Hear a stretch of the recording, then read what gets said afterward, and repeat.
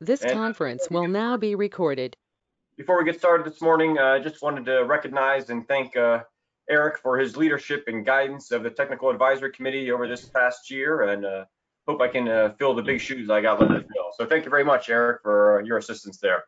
Half reason St. Paul. I'm sorry. Uh, item number two, I'll go ahead and turn it over to Stacy uh, for a roll call and determination of a quorum. Sure. From the city of Fredericksburg, Mr. Eric Nelson. Here. Tom Amin. Asim, uh, Thank you. From Spotsylvania County, Paul Agnello, Uh, present. Rodney White, Present. Wanda Parrish, Leon Hughes. And I do realize we're calling alternates. We're just doing that to help uh, with attendance. Um, For King George County, Nick Miner. Kimberly Wilson. Here. And do I see Mr., oh, Kimberly Wilson, thank you. Um, Stafford County, Alex Oziak, Here. Brian Council, Here. Jason Towery. Here. From Caroline County, Mike Fincham, Present. Craig Pentington. Here. From PRTC, Charles Steigerwald.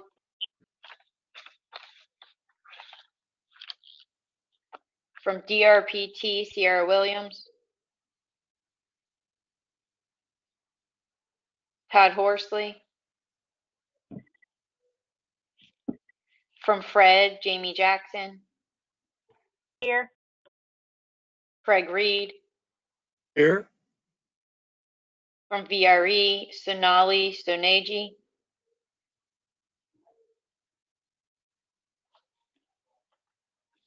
Christina Huffner. Here. From Federal Highway, Ivan Rucker. From GWRideConnect, Lee Anderson. Here. Kate Gibson. Here. Linda Millsaps. From VDOT, Michelle Shropshire, Here. Stephen Haynes. Here. Jim Ponticello. Dan Grinnell. And that concludes member roll call. Um, real quick, just for um, attendance purposes, if you have joined just by phone, whether you're a member of the public um, or staff, can you please uh, state your name real quick for us so that we can make sure that we have correct attendance? Uh, uh, Stacy, this is Nick Miner. I'm, I apologize. My my mic was on mute when you called my name. Okay, thank you. Do we have anyone else? Just by Uh, phone? Tom Amin. Thank you. Hi, it's Susan Gardner. Okay. Hi, this is Linda Lasute from VDOT. Okay. Thank Hi, you. Tom and- Amin, City of Fredericksburg. Oh, thank you. This And we do Young. have, This is Neil, Young from thank- King George County. thank you. And we do have a quorum, so it's back to you, Mr. Chairman. All right, thank you, Stacy. All right, next on the agenda is item number three, which is the approval of the July 6th uh, TAC agenda. Uh, Before we move forward with that, I do have one item I'd like to add, probably under item 8A. This would be number three. Uh, I'd like to add a, uh, a call for CMAQ projects as part of the discussion under 8A uh, about the 5307 funding. We might be able to free up some additional CMAQ funding, replace that with CMAQ. So as part of that, I'd like to go ahead and place a call for CMAQ projects so we could uh, allocate that funding. So, uh, good morning, uh, Alex. This is uh, Paul from Spots- Spotsylvania. I, I just wanted to add on to that, uh, that we'd also like to have that discussion under basically 8D as well, and basically if there's any available STBG, RSTP funding to also talk about potentially allocating that.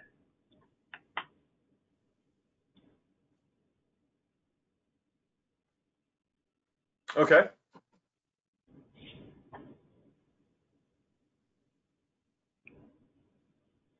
Are there any other uh, additions to the uh, agenda?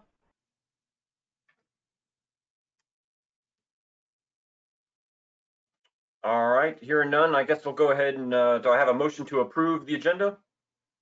Motion to approve the agenda, Eric. Second from Paul. All right, any further discussion? All right, I guess we'll go ahead and uh, call a vote. All those in favor say aye. Aye. Aye. All right, if there are any opposed, please say no. All right, uh, hearing none, we'll consider the agenda approved as amended.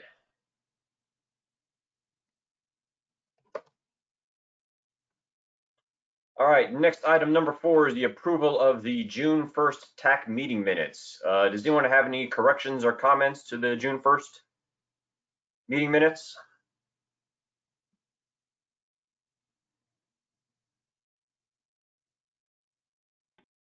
All right, hearing none, I'm going to go ahead and consider those approved unless I hear any objections. Are there any objections to approving the June 1st minutes? No objection. All right, we'll consider the June 1st meeting minutes approved then. Uh, Moving on to number five is the approval of the June 8th TAC meeting minutes. Any uh, corrections or comments on those meeting minutes?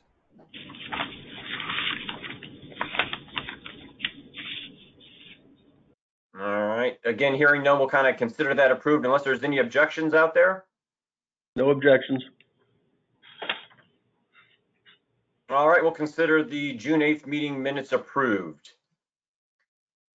Uh, Moving on, number six is the review of the June 15th and June 22nd policy committee meetings. Uh, Adam, are you going to be taking that one up?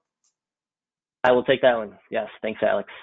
So just a couple quick highlights from the June 15th and June 22nd Policy Committee meetings. Uh, we did hold a virtual public hearing for the four documents that we had and a public comment period that ran until June 19th. Um, we did pass resolution uh, number 2040 at the June 15th meeting, which allocated CMAQ funding and also had a balance transfer to move some funding to some new projects. Um, looking further to the June 22nd meeting, uh, we did get the FY21 UPWP approved as well as the FY20 UPWP amendments. Um, we did not have a quorum for the latter part of the June 22nd meeting um, as there were no representatives from the city uh, at the time. So not all of the resolutions that were put forward um, were voted on, but we did have the time sensitive resolutions uh, approved in time for the uh, start of the new fiscal year. So those are just a couple quick highlights for those who were not in attendance at the policy committee meetings in June.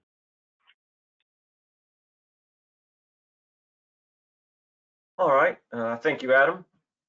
Uh, I guess next is item number seven, uh, public comment. Are there any members of the public online who'd like to speak or make any comments?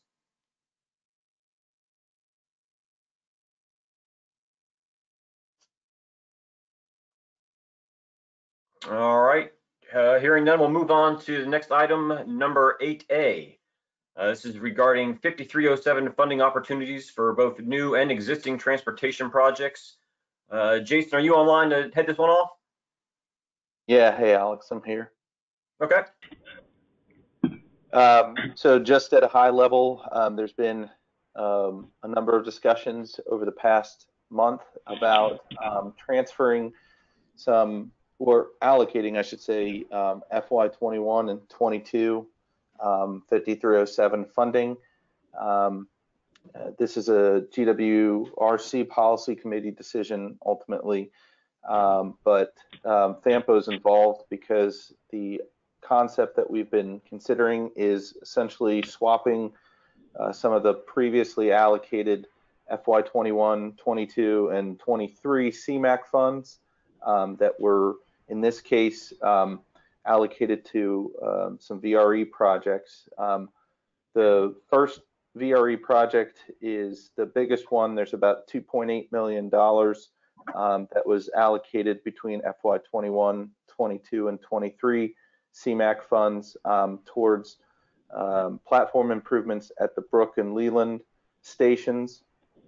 Um, we had a discussion with DRPT and VRE and, and other uh, handful of other members from GWRC and um, of course uh, some of the TAC leads uh, about a week ago um, to discuss what that would look like, the potential for swapping out those funds, essentially um, working with GWRC um, to allocate um, 5307 funds so that the CMAQ funds could then be returned to um, the FAM, uh, FAMPO for consideration um, and uh, a potential call for projects on those. Um, so that was the, the biggest one. Then there's about, um, going from memory here, I think a little over 300,000 or give, give or take in a VRE um, study that was um, allocated in, uh, again, the same years, FY 21, 22.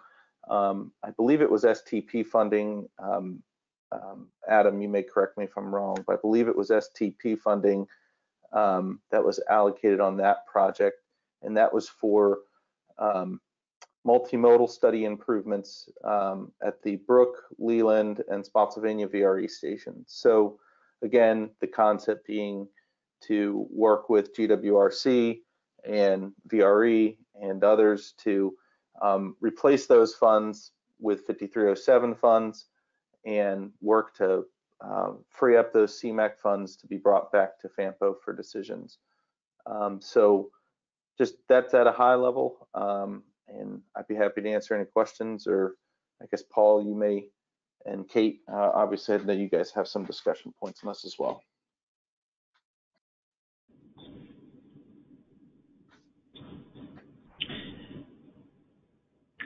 Good uh, morning. Uh, this is Paul. I just uh, want to uh, add a couple points to what uh, uh, Jason has said. So I, I, completely agree with his remarks, and I'll just add that basically we, we've been working cooperatively with the other FAMPO localities to uh, uh, try to develop solutions to more efficiently use uh, scarce transition resources. And basically with 5307, it seems like there's an opportunity to basically use some of that for GWC staff expenses, uh, which could free up some CMAQ and RSTP in the long run. And I said that the 5307 is a reoccurring funding source now, kind of starting basically back in FY20 at about kind of 1.3 or a little bit uh, over that uh, 1.3 to 1.35 million per year uh, going forward.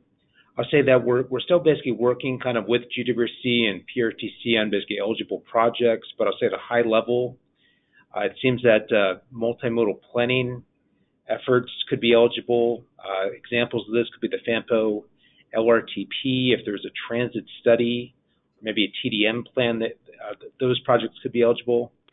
With transit, we know that capital is eligible, and then preventative maintenance. Uh, and then for bike ped, this is something we uh, learned recently that a uh, bike ped project could be eligible for capital if it's within a three miles of a rail station or within a half mile of a bus stop. Uh, so, so that was kind of a new thing we learned.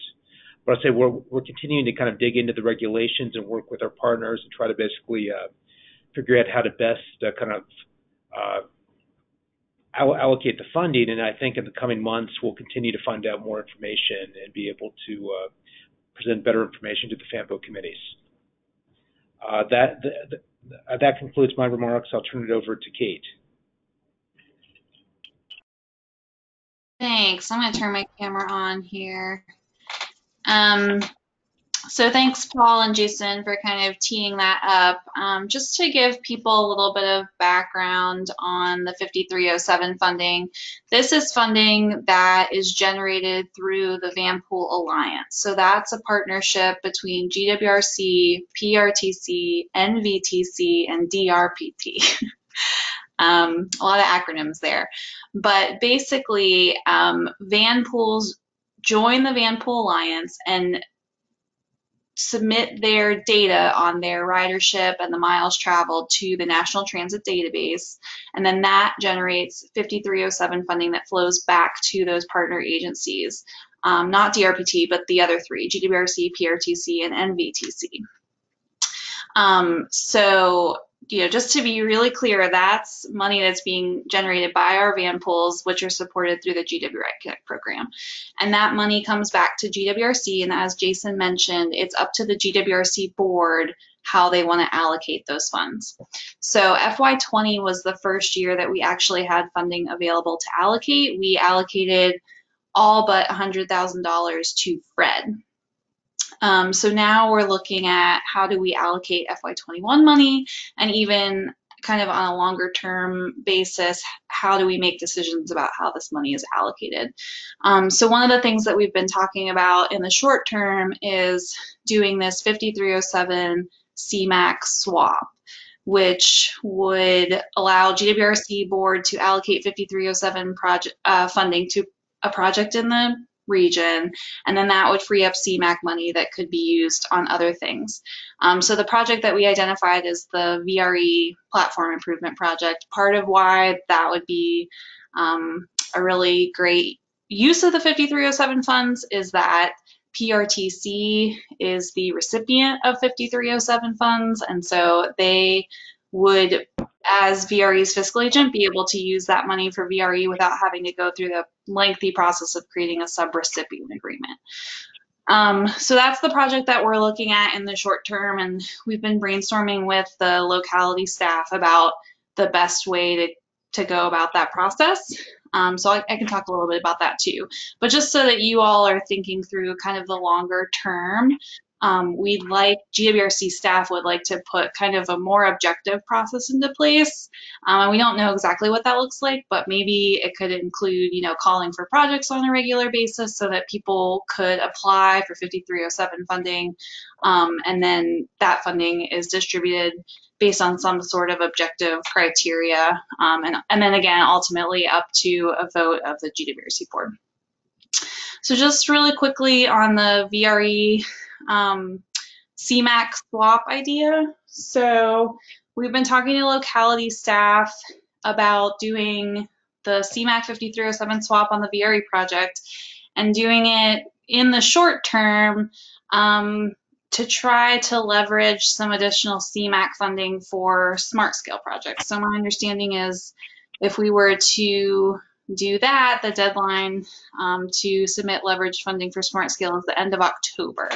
So we are kind of talking through, and what I think we want TAC's feedback on today um, basically would be to talk about this at the FAMPO meeting this month. The GWRC board does not meet in July. And then talk about it at the GWRC board meeting in August. FAMPO meeting, FAMPO does not meet in July, in August, sorry, um, and then have a joint meeting in September. Um, so ultimately, what this would look like is the GWRC would vote to allocate 5307 to this particular VRE project, and then the FAMPO policy committee would vote on how to reallocate the CMAQ. Um, so there's kind of a couple moving pieces in there, and I think there would need to be some agreements and MOUs in place. I think the question that we have for VDOT um, for today's call or in the future is if we could do a call for projects ahead of the 5307 money being allocated so that we would have some sort of idea of where the CMAQ money would be reallocated to as a part of the swap. Um, so I think that's kind of where we are at. And I know we had talked about adding the idea of doing a call for projects to the agenda today. I don't know if that's specifically for this or something else, but um, I think that that's kind of where we are with it. So this is Paul. I, I, just wanted to add on to that that there are other funds that could potentially be allocated besides the uh, the 2.8 million in CMAQ. There there is potentially a little bit of CMAQ funding from a Quantico bus project. There's also the potential of the FY27 CMAQ or the FY27 STBG RSTP funding. I'll say that the FY27 would be for smart scale. Mr. Chair, this is Jamie from Fred. Um, yes, we'd already talked to Stafford about that, uh, those funds becoming available for the Stafford Quantico um, route. However, I do want to make one point um, clear from Fred's perspective.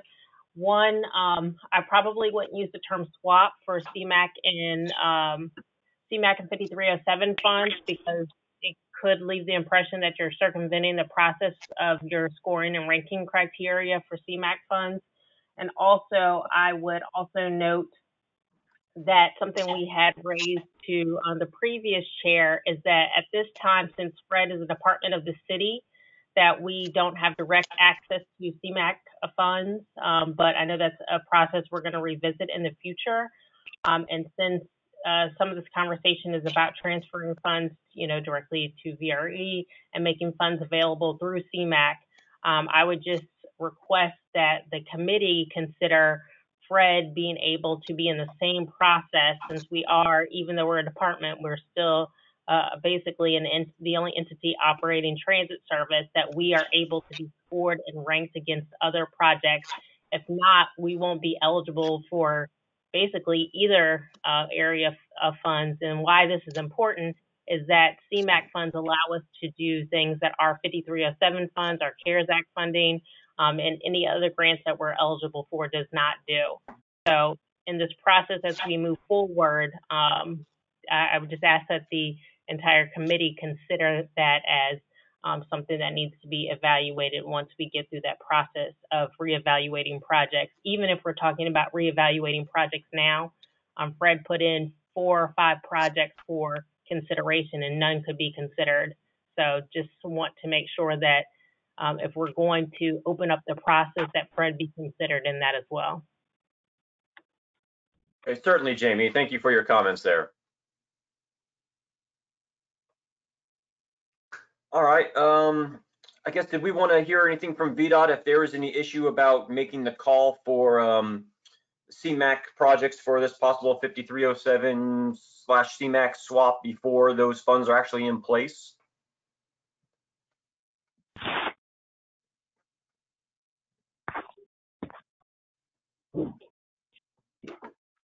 I guess some of those projects are um, smart scale.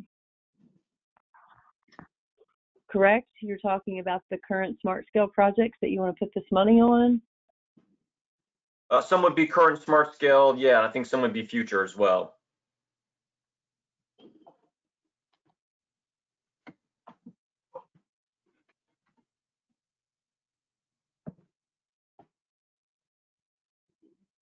Hey, this is Jason.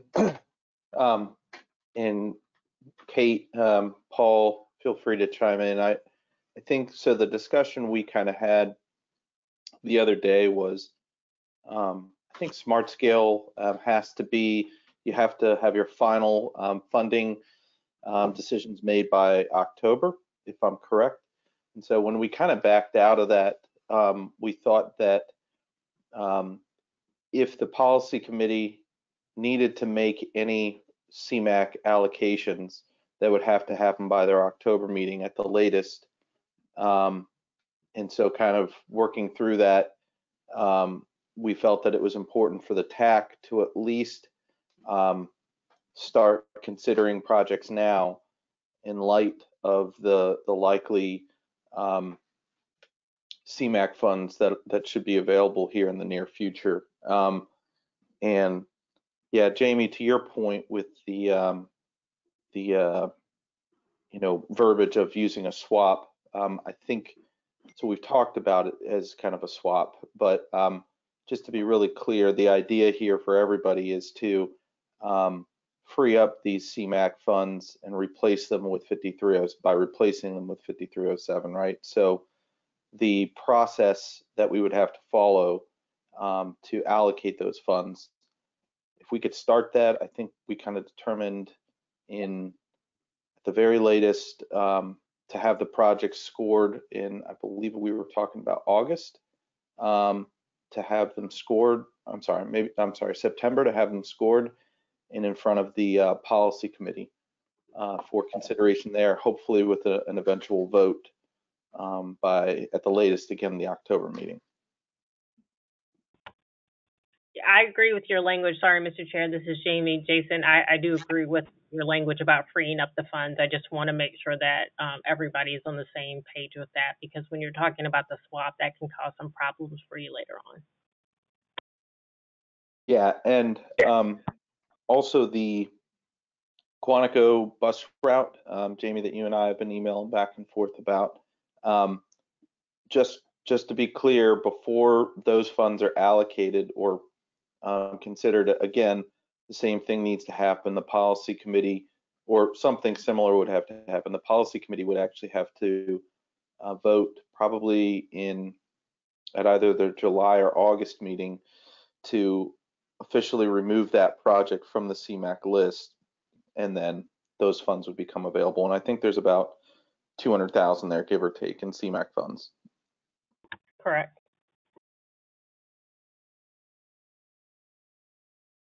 I guess my question was, are you are you thinking about moving, Ms. Michelle? I guess are you thinking about doing some fund swap with the existing smart scale projects that are managed by VRE and DRPT, the um, the Brook Leland platform extensions, the um, those that have been previously funded, two of which have CMAQ funds on, two of which do not. Is that my understanding, or are you just looking for future smart scale projects? That is correct. Okay. And you're opening up a call for projects. When is your your anticipated deadline for this call for projects? Um, well, it would have to be in time to get it on the September policy committee meeting um, for final recommendation. So I would I would assume we'd want to get these in front of the TAC um, by early September. So we would have to have those probably by the end of August.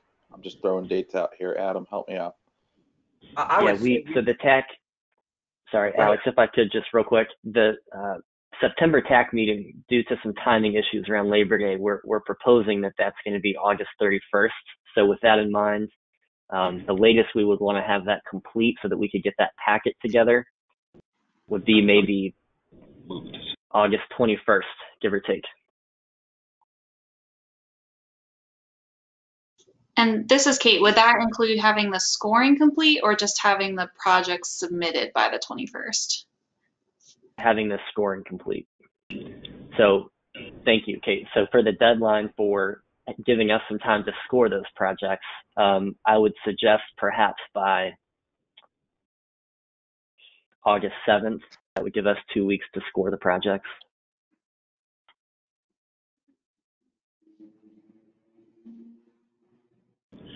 Hi, everybody. This is Okay. uh, Kate Young. Hi, everybody. This is Kate Youngbluth from DRPT. Um, new to the group, uh, but happy to be on the call. Um, I have to jump off to join another call, but I did want to um, express some interest in um, DRPT participating in this uh, call for projects for a, another important uh, rail project that's going on at the the Brook Leland area um, and it was something that we spoke about. I I didn't know when to jump in on this, but since I have to jump off, um, I wanted to jump in right now. Um, we were on the the Van Pool discussion about the 5307 project, and we have a very large project called Siding A. It's essentially a third track between uh, Dahlgren interlocking near Fredericksburg and uh, the Potomac Creek um, area uh, near the Brook station, so essentially between Leland and and Brook, uh, in which we need to deliver that project by 2025 uh, with construction completion. So we are seeking CMAQ funding, um, federal other federal funding to complete that project. Uh, the amount, the project budget of which is 108 million dollars.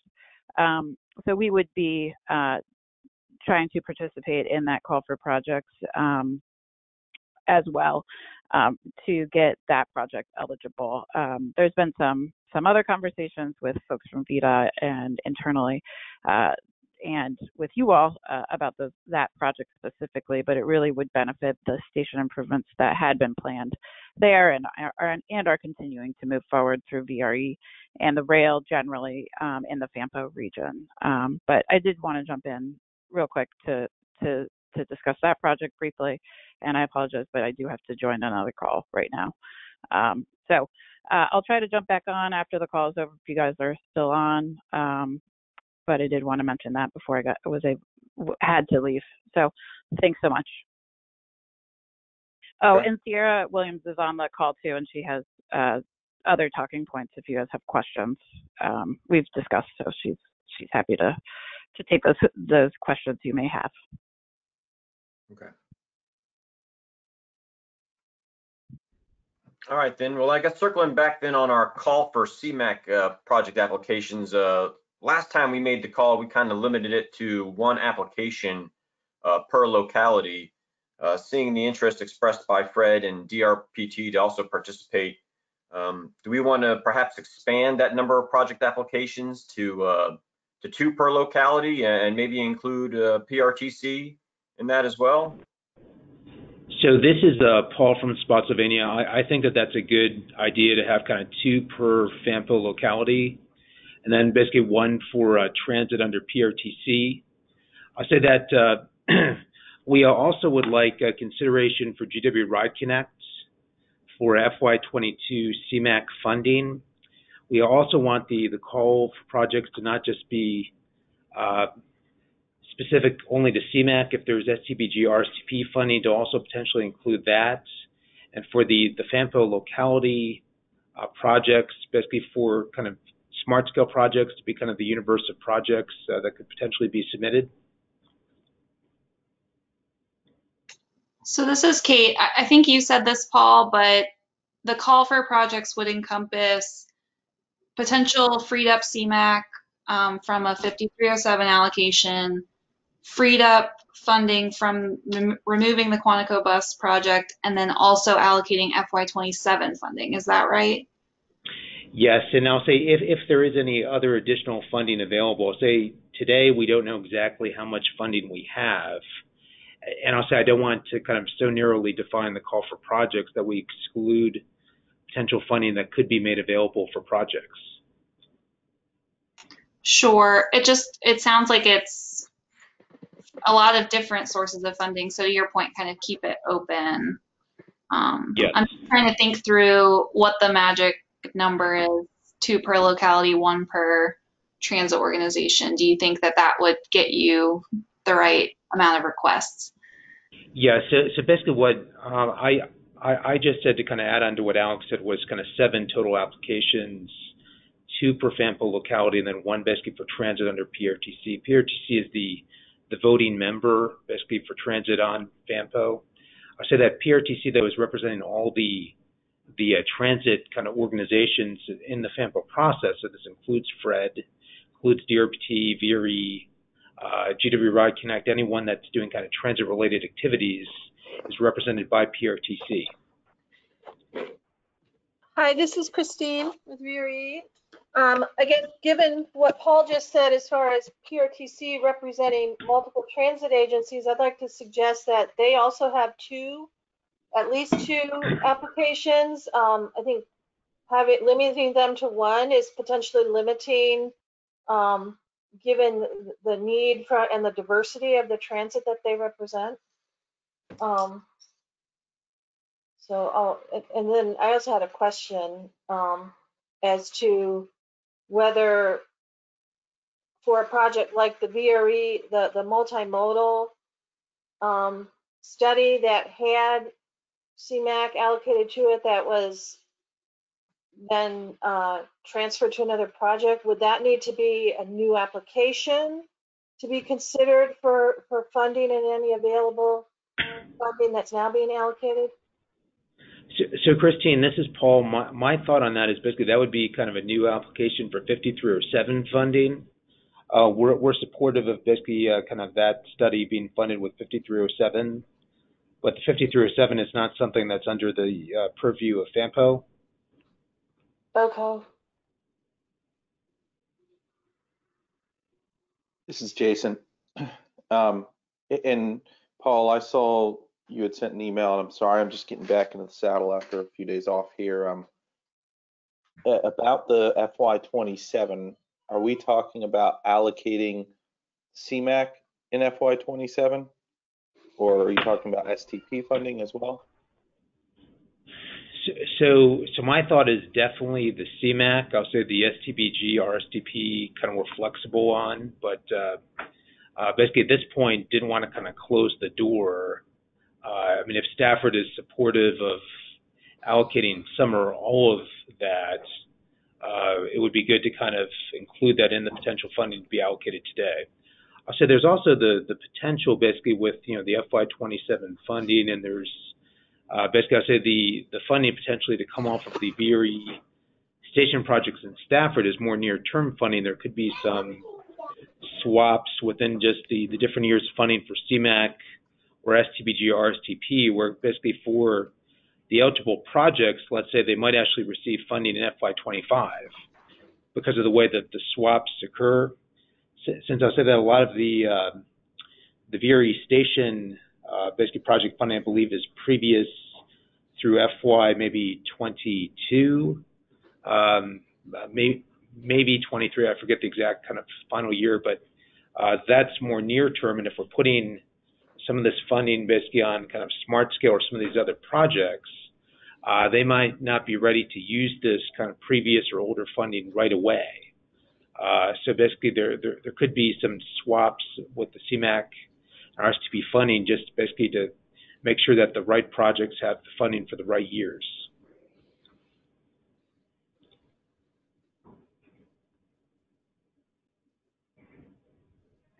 Okay.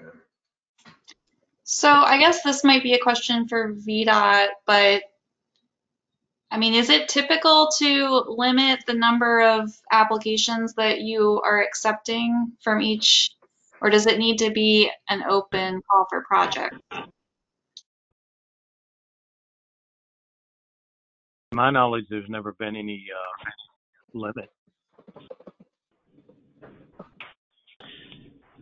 So, so this is Paul. I, I, I just want to make the point that basically there's not, uh, you know, let's say $50 million in funding to allocate. We're talking that there's probably like something like three to seven million available, depending on basically how much of the FY27 is allocated and how much the other funding is available. So, um, the the concern I would have is if there are no limits, that basically the FAMPO staff could have, let's say, 30 applications that they have to score in a very short period of time for, for a very small amount of money. I totally get that from a practical perspective. I'm just wondering, run, wondering from a process perspective, because this came up recently too about following the process and having an open call for projects. Um, I mean, I'm wondering if it might make sense to say two per locality, one per other entity. I think that, you know, Fred should be able to submit a project, DRPT should be able to submit a project. I don't know that there should be a limit on just one for transit in general, but um, we can use that as a guideline, but technically it's an open call if people have other projects.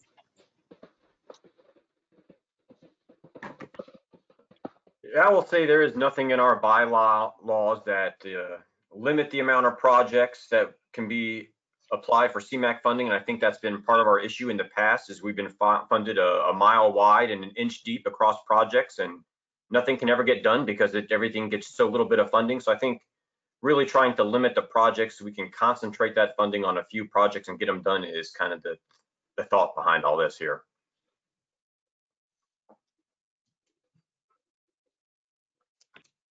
Uh, this is this is Eric. Just a quick thought. I mean, uh, limiting projects is not unusual. Uh, as an example, Smart Scale we're limited to uh, you know four submittals, uh, but I think the issue is really uh, fairness for the transit agency. So I think if we can figure that out, we we should be fine.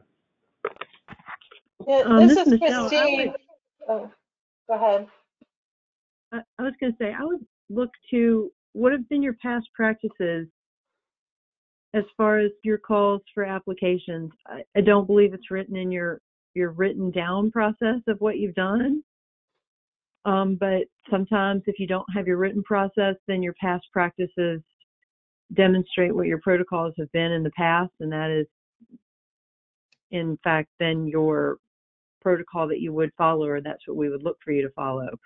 Um, I know in the past sometimes you've limited numbers, sometimes you haven't some years, looking back through your meeting minutes. So that's one avenue you, you could take if you so choose. Hey, everybody, this is Jason. Um, so I, I would just say, keep in mind that part of the reason that we're even looking at um, having these CMAQ funds available is because of the um, availability of 5307 funding coming to the region, um, which is much more exclusively focused on transit capital. Um, so, you know, the 5307 funding that um, GWRC is going to be working with um, is really going to be better suited towards transit um, uh, projects and applications. Um, so I, I, would have some concern. Um, while I certainly, you know, think that there's um, definitely some room to have the transit agencies in here um, submitting on this funding as well. I would just re remind everybody that the, a lot of the localities, we're not going to have the ability to use that 5307 funding to the same extent that the transit agencies will. So um, I just throw that out as a as a caution um, because you know, some of the some of the transit um, projects can get, especially on the rail, and I'm I'm not trying to pick on you, Christine or VRE or anybody, but I think some of those can get pretty expensive, um, and they have the potential to absorb most, if not all, of the CMAQ funding on one or two projects. Um, and so I, I think I would just throw that out as a word of caution. Certainly, you know, everybody here wants to be fair and um, you know have a process to go through, but um, that that's my two cents. Hey, this is Chris.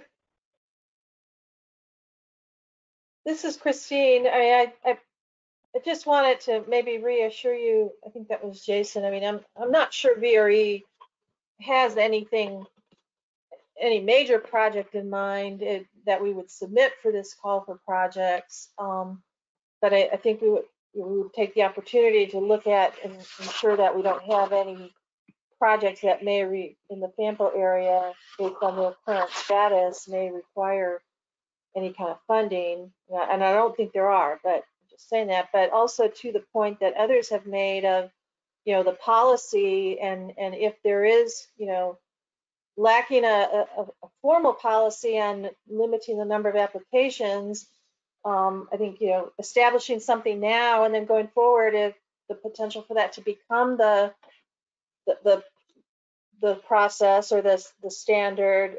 I, I, would hate to see, you know, the the transit some be somewhat limited going forward. And I, I like, I think it was Eric's suggestion of, or whoever it was, you know, one application per other organization to to give at every transit organization an opportunity to be able to forward projects for consideration.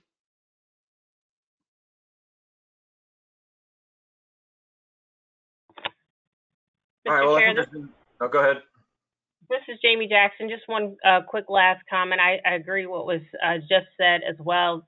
Um, Fred would utilize that available funding um, uh, that comes through VRE for the Vanpool money for probably present items for um, certain projects, but in the future, that is kind of more where my concern is.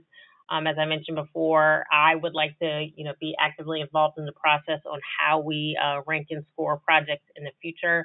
So I do not really want to take away from anything that's pressing right now. I uh, just want to make sure that Fred is in the process. So seeing how our projects would score and rank is really important to us as an agency. I would also consider just for the future, again, maybe not for this call for projects, um, is that we look at scoring. I know when I looked at project scoring for previous uh, rounds, um, in this particular MPO, some projects were very scored very low, and I think at some point the uh, body needs to consider a threshold where certain projects just aren't eligible for, for funding because their score does not meet a certain threshold, which would make them a successful project, or not so much a successful project, but it, it's not ranked in a way that um, matches the requirements of uh, the MPO, where that project literally would just fall off just because it didn't meet the scoring criteria, regardless if it were um, of in that number of two projects um, for a jurisdiction or one project for an entity. So that's my only comment. Uh, I'm done. Thank you so much. All right, I think we've had uh, some good discussion uh, regarding the call for projects. Um, do I have a motion uh, in regards to the call for projects and how many allocations uh, as far as project applications per localities and transit agencies?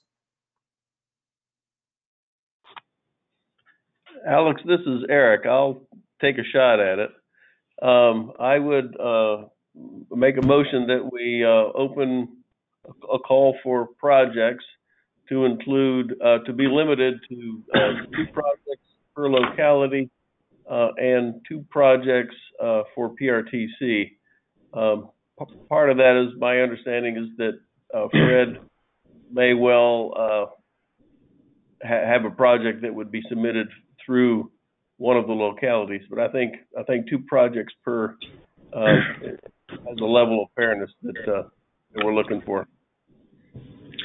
And uh, Erica, this is Paul. I, I had kind of just uh, in addition to that, basically for the locality projects and for one of the PRTC projects, they limited it to basically smart scale round four candidate projects. The second PRTC project could be any transit project under PRTC or, or a different transit agency.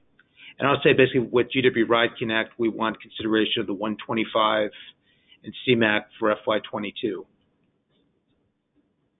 Right. My understanding is the the Ride Connect would come off the top. Yeah.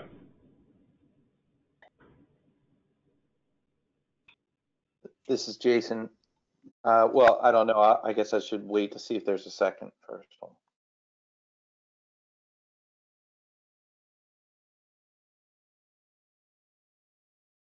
Yeah, I, I guess I'll, I'll go ahead and second uh, Paul's motion there to where we would have two applications per locality. Those two applications would be limited to uh, smart scale projects. Two applications from the PRTC, one of which would be limited to uh, a smart scale project. And then this would also include uh, an allocation of uh, FY22 CMAQ funding for GWRideConnect. Uh, Mr. Chair, is there discussion?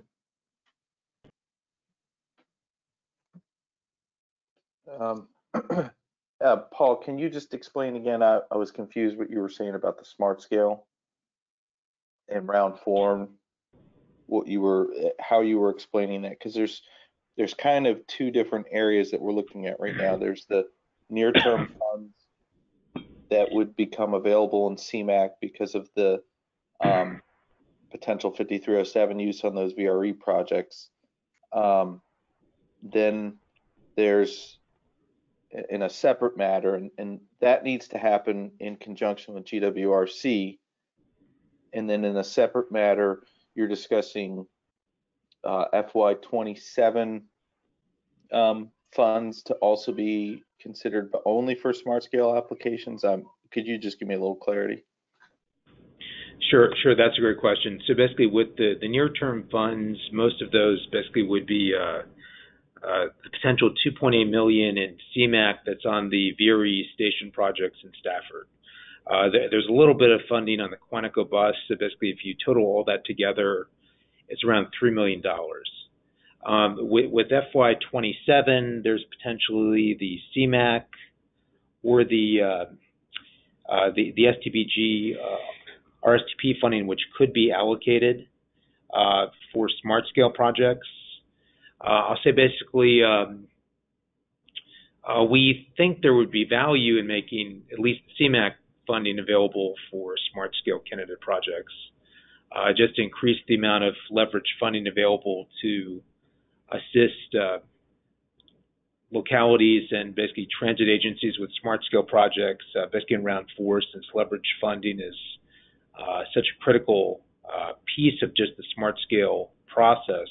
I'll say with the STBG RSTP funding, I know there are some specific issues with um, that funding being being used for the benefit of North Stafford, and the MOU is not passed for that yet. So basically, uh, with, with that, I was just kind of throwing that out as maybe something for consideration. But if Stafford is not comfortable with that, I, I think that should be taken off the table. Uh, so, so, so those are my thoughts.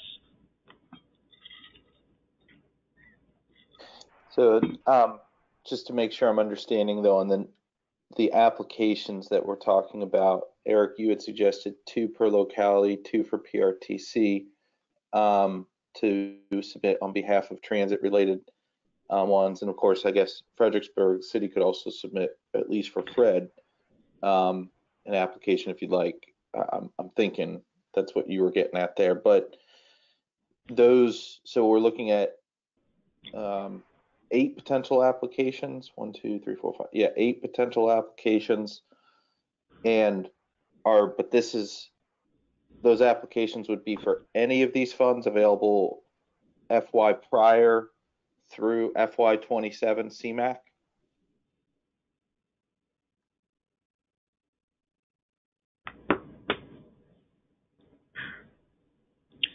So, so, so Jason, this is Paul. Yes, uh, I, I would say that basically it would be any available CMAQ funds. I say if we want to exclude the STBG or STP funds, we should kind of probably clarify that. Uh, I'll say basically with the universe of projects that could be submitted for the localities, there would be smart scale round four candidate projects uh, that are either kind of local projects or they're on some kind of regional project list for FAMPO or GWRC. And then for the transit projects under PRTC, one would have to be a existing, basically a candidate smart scale project on somebody's list. The the other could be open. Okay, I understand. So the PRTC applications, you're saying one would be geared towards smart scale, the other one would be open? Yes. And I'll say kind of with uh, some of the, the projects, it may be a case where uh, part of the project is, let's say, eligible for CMAQ funding, but uh, I mean, not all of the project is eligible for CMAQ funding. Um, so in terms of Stafford's, you know, um, support of the STP, um, you know, I, I, think at least as far as the TAC is concerned today, um, because what we're really doing is um, recommending, just maybe somebody correct me here if I'm wrong on the process. Today, what the TAC is doing is recommending um, a call for projects to the policy committee. The policy committee is going to consider that at their July meeting. Um, assuming that happens, or are we going ahead and trying to do that call for projects now? So, so my, my thought is we need to wait until the policy committee basically gives authorization for this. So I don't think we should do anything before the uh, the July 20th uh, FAMPO meeting. Okay. I'm just thinking in terms of timeline. Our timeline's getting shorter here now with trying to get these over to the FAMPO team by early August. Um, I think when we were initially talking about this last week in terms of the near-term funding, we weren't looking at FY27. That's a new thing that kind of came in. I'm not necessarily opposed to, um, you know, recommending that just so we can remain flexible here. Um, it, so I, I would say, at least as far as today's discussion goes, and allowing the TAC leads and the transit leads to work over the next couple weeks um, to identify projects at least. Um, I, I, would say we would be open to having all those funding sources on the table, including STP um, in 27. Um, and, and also there is STP, I think that we're talking about that would be available with the VRE project um, I'm sorry, the VRE um, multimodal study, right? That would become potentially available. So I would say would be supportive of that, but I just think that we need to spend some time the next couple weeks kind of flushing that out, making sure we understand um, all the projects, and then you know hopefully having some some concept of how the types of projects we would be putting in for, but before we get to the policy committee on uh, whenever it is, June, July, whatever. Uh, Jason, this is Paul. I, just want to quickly say with the, the FY27 funding, that's something we just learned kind of at the end of last week from VDOT, so we weren't aware of that before. Uh, so, that is new. Uh, and I say that basically, uh, um, I mean, we, could say with the funding that we're going to look potentially at kind of other funding beyond the 3 million um, in CMAQ that's available that's near term, but, but we're not kind of uh, uh, making a definite decision on that today. If you know, maybe there's some concerns with uh, with that, because I know that we are basically looking to revise the CMAQ as well as the STBG RSTP prioritization methodologies later this year. So we don't have to do that. I, what I said that I wanted to do is basically just leave the door open to potentially consider other CMAQ or STBG RSTP funding beyond that roughly three million in near-term funding that's available. Yeah, I think it's fine to leave the door open. I just, like I said, I just think we need to kind of work that out over the next few weeks and and try to see what because I, I have not had a chance yet, at least on my end, to get the feel from our policy committee members on how they feel about looking at 27 funding yet. And just given everything that's been you know, going back and forth over the last six months, I'm not sure how they would feel about that. But I, I'm I'm open. I think we can open it up and have the discussion, and then ultimately we just need to put it all in front of the policy committee in a couple weeks, whenever that meeting is, and just say, hey, what do you think? And let them make the call on whether or not to, you know, how to open that up. We can just make the recommendation on applications, funds available, how much, etc. But I I think, you know, staff would be supportive of the option here on the table that Eric put forward and um, uh, with his motion. This is Kate. Can I ask a clarifying question? Paul, you mentioned that the two PRTC slots would be for who again? So, so I'll say with FAMPO, PRTC represents all the transit agencies, and I'll say that the GW Ride Connect, the 125 would be outside of that. Okay. Uh, basically, that would be kind of uh, uh, just a, a initial kind of allocation, kind of off the top of the available CMAQ that's available for FY22. Uh, but I'll say with PRTC, basically the two applications, the proposal is that uh, one would be uh, limited to the u- universe of kind of candidate projects for smart scale that have transit or TDM components that are eligible for CMAQ. Uh, the, the other project could just be any transit project which is eligible for CMAQ. Okay. So which agencies could submit projects through the two PRTC slots? So uh, basically, in the FAMPO region, there would be basically uh, uh, PRTC, there would be DRPT, there would be uh, FRED, there would be VRE, and I guess GWRideConnect. Okay. Uh, and maybe HG AAA if they're eligible. I'm not sure if they are. And then just from a process perspective, is it up to PRTC which two projects would get submitted? Well, they, they, they would be kind of the gatekeepers in terms of determining, yeah, right, which two projects get submitted. I mean, that would be something the transit agencies would need to work out. Kate, this is Chuck. Um, I, I think the way to go about it is to do, I'll reach out to each of the agencies. I'll take their suggestions. Uh, well, then we can arrange for a meeting where we can vet the pro, the two projects to put forward with the, the stipulation that one of the two has to be um, a round four project. That's very limiting in itself. So, you know, we'll, that essentially we'll have one project that we can put forward. If it's, if the amount of funding is relegated to um, the replacement funds, the funds that are being freed up by the 5307, again, you're talking about $3 million. Um, that means different things to different agencies. So we'll have to, we'll have to talk through hopefully we can reach a consensus on what the what the how to use those funds for the greatest impact. I, I think is the question that we have to get to. But I, I would seek to get a quick consensus on what which project or projects to put forward. Okay, that's helpful. Thanks, Jack.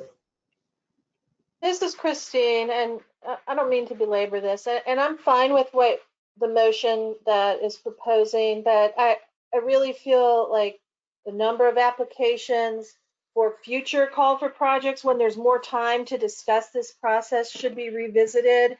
As I, I still believe that, you know, two applications from PRTC, given the, the number and diversity of potential transit-related organizations, that would be, um, you know, potentially having a need that could be applying for CMAQ or RSTP. Um, two is very limiting. So if, if there's an opportunity to have a more for, you know, a more formal policy and or an expanded policy or future call for projects, I, I really feel like that's necessary to, to have somewhat of a level um, opportunity for everyone. This Amy is Jackson, I agree.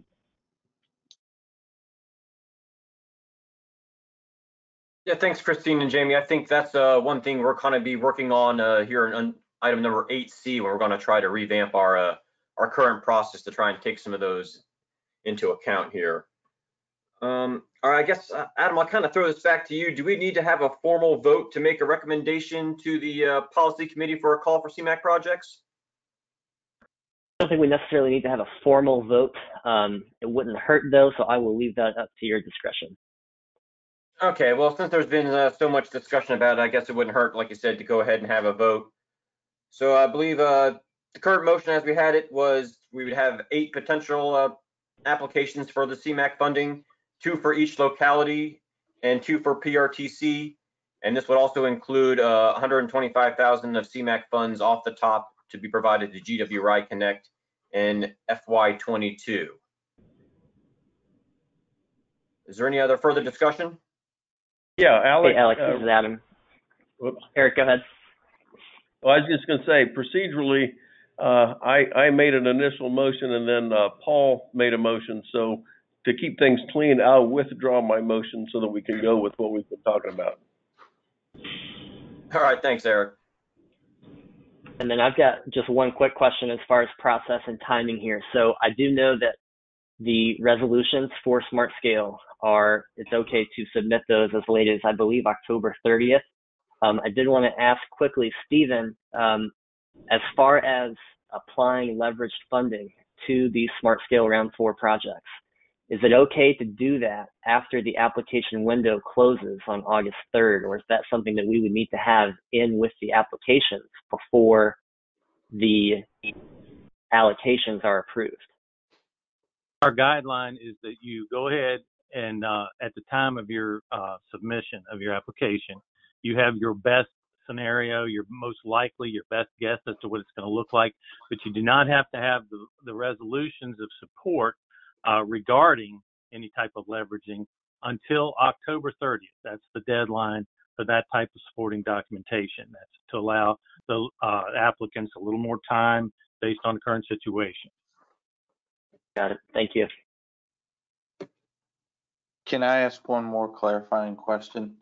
Did we say, are the localities, are we limited to smart scale round four for our applications? Um, Uh, can you uh, clarify that? No, Uh, I'm Jason, sorry. this is Paul. Uh, Jason, this is Paul. Yes, basically, I, I had limited it to kind of a smart scale round four candidate projects, either kind of on locality lists or on one of the regional lists for GWC or FAMPO.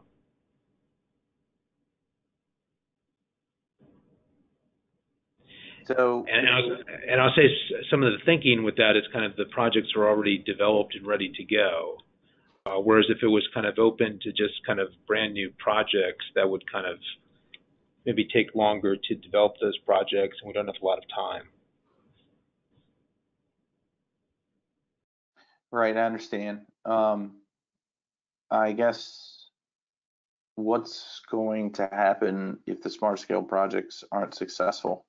We come back, the money becomes reavailable, then later, I guess would be Yeah, so so in the past, if uh, that has happened, you know, potentially uh, projects that are not successful and don't seem to have a uh, a viable path forward could just kind of uh, come off the list and the money could be reallocated to another project which has a better chance based on the prioritization.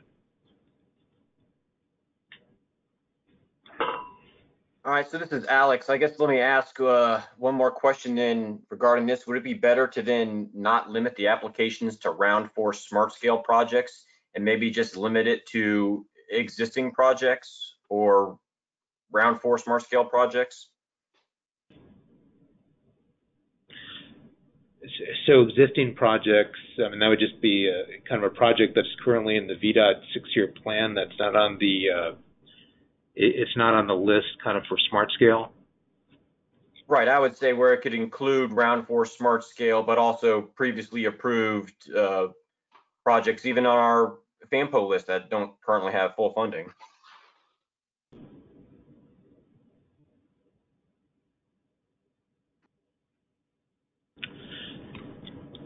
So, so I guess I'll say I, I think that that would be okay if the projects are, you know, pretty much ready to go.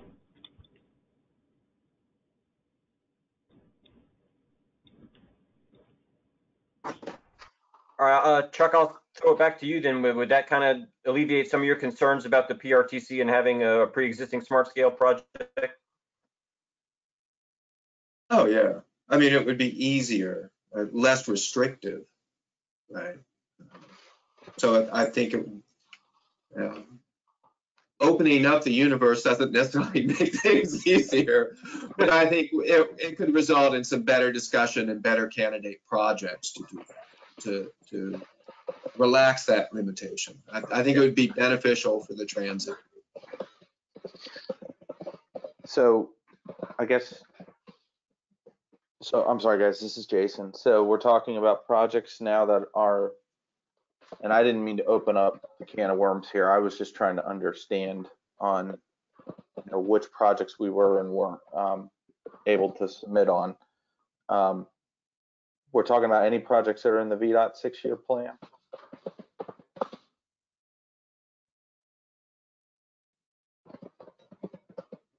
For the localities? Um, I would sorry. say that, or I mean, I know we've got some on our list that, you know, smart scale projects haven't been technically approved and aren't in VDOT six-year plan yet, so I- I would assume those would count too.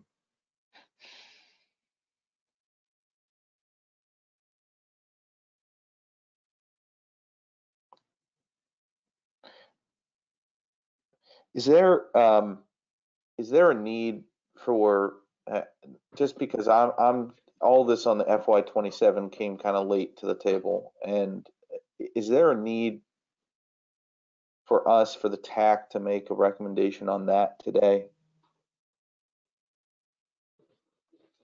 So, so Jason, this is Paul. I, I don't think we have to make a definitive uh, decision on this today. I think we could uh, say that it, it could be considered, but the, the policy committee on the 20th, they would make the ultimate decision on that.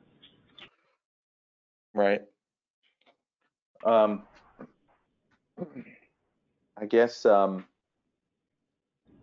I'm really not sure, at least from Stafford's point of view, I, I'm just not hundred percent sure everything that we're looking at in twenty-seven. I, um, when we kind of had this initial discussion about the fifty-three oh seven, I thought, you know, we were geared more towards the near term.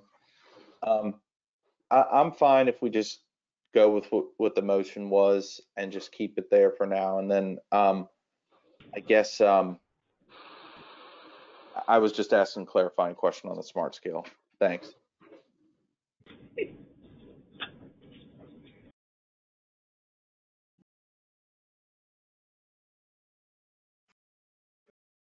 All right, then I guess we're back to Paul's original motion for the uh, two applications per locality, two for PRTC based on, uh, one would have to be an existing smart scale project, and then the same for localities. Both of those would have to be uh, smart scale projects. So not to belabor this, but the FY twenty through FY 22, 23 funding, is that even going to be able to be used on round four?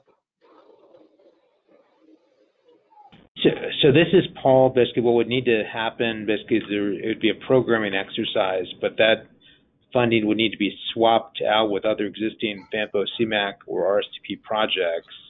and then funding that is later would be basically exchanged for that near-term funding. Uh, and I said the funding, it doesn't have to be out at like 26 or 7. It could be, let's say, 24, 25.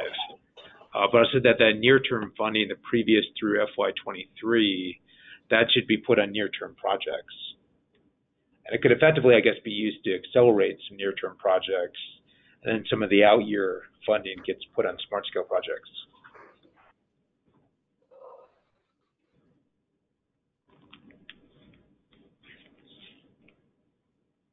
So the answer is yes, if it's just a programming exercise. Mm-hmm.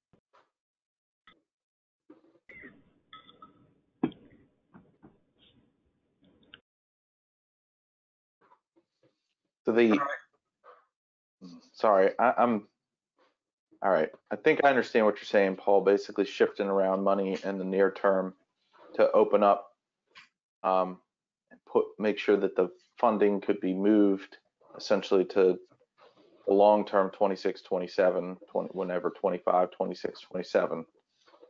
Um, I guess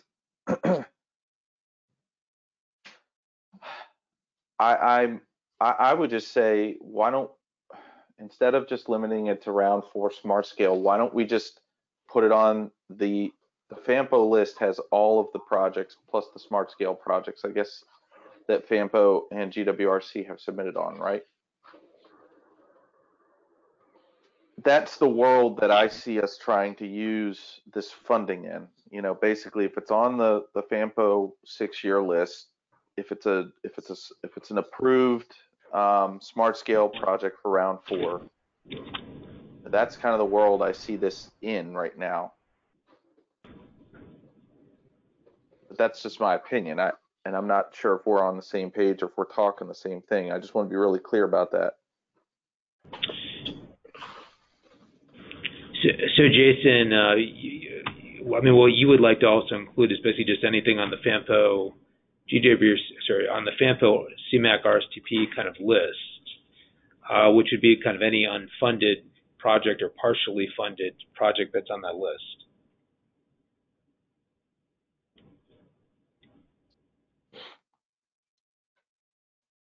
That's yeah, that's what I was throwing out. I, I'm not I'm not sure if that's the same thing you were talking about. I think you were just talking about round four smart scale. Uh, let, me just ask this question of Adam. Like right right now on the list for CMAQ RSTP, are, aren't all the projects or almost all the projects are fully funded? I so I, I can't answer that off the top of my head, but I can pull up real quick for the group. This is the most recently approved allocation spreadsheet reflective of Resolution 2040 from June 15th. Um, so I don't know if we necessarily need to go through line by line right now, but the uh, rightmost column has the balance to fully fund. So that should be a pretty quick indication as far as, um, for the majority of these, what would be sort of left to fund.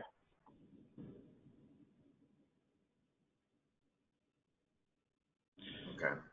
I guess like my, my understanding is with kind of the, the pending kind of the resolution 2103, I mean, once FAMPO approves that, that, uh, you know, pretty much all the existing projects would be fully funded. I know that kind of our kind of Route 28 Hood Drive project is not fully funded with that, but we're working on kind of developing some other kind of local or private funding to fill in that gap. But um,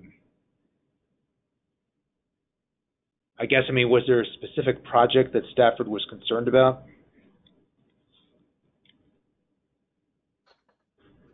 No, that- Paul, I was just, I'm trying to wrap my mind around, um, you know, we're, we're right in the middle right now of moving a bunch of funding around with the policy committee, which I think we all kind of understand what's happening there in terms of how that's shifting and, and which projects.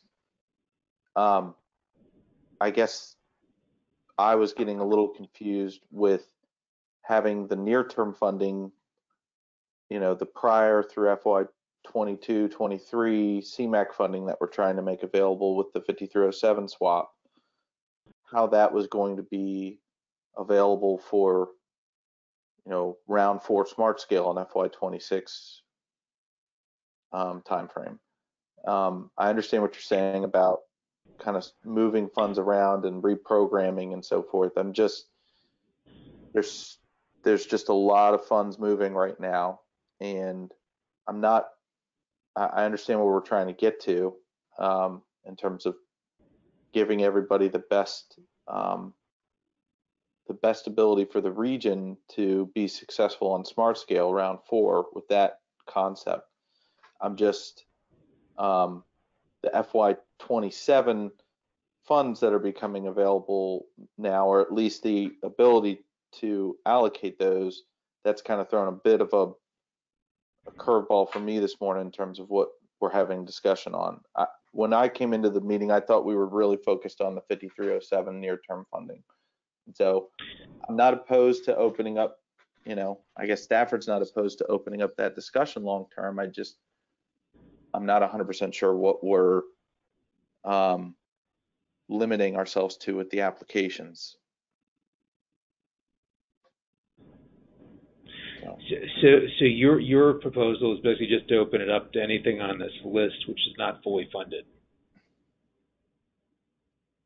No, I was I was just honestly kind of asking if if that was the intention, but I think you're just narrowly saying round four smart scale, right? Yeah, I, I was thinking that those projects are developed and basically, uh, I guess I say with existing list, I thought that everything was, you know, either fully funded or on its way to be fully funded.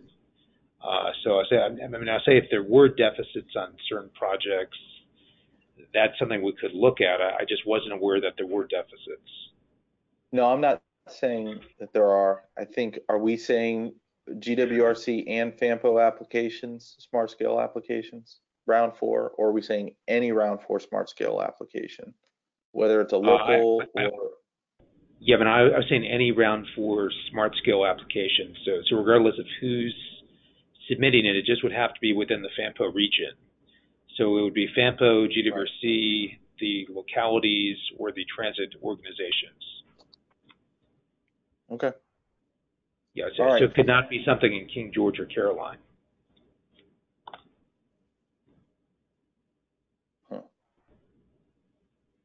Okay. Well. All right.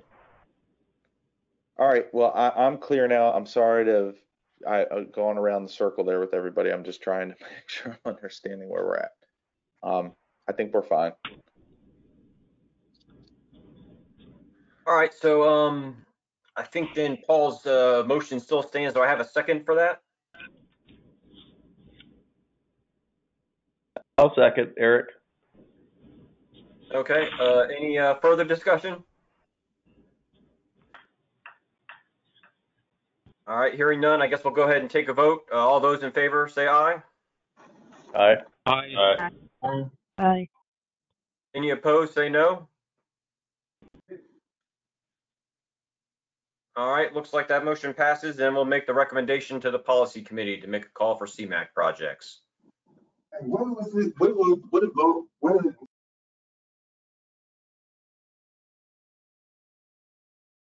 Uh, Can you say that again?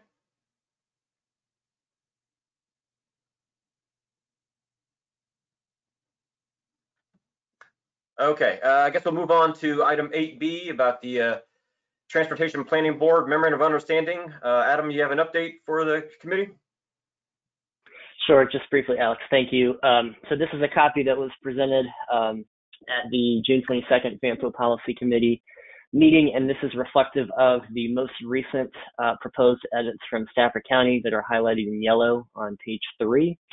So this is as of June 19th, um, so just a couple weeks ago, and what we're asking for uh, between now and the June 20th policy, or sorry, July 20th policy committee meeting is any comments um, or any, uh, you know, feedback from uh, staff before this gets put forward uh, to the policy committee. So the next step would be for the policy committee to essentially um, find consensus on this version of the draft document before it goes back to TPB for their team to review. So this is not the official sort of final version, um, if you will, but this this would be sort of what FAMPO would collectively send back to the TPB um, for their consideration. So any any discussion today or any comments between now and um, June 20th are, are welcome.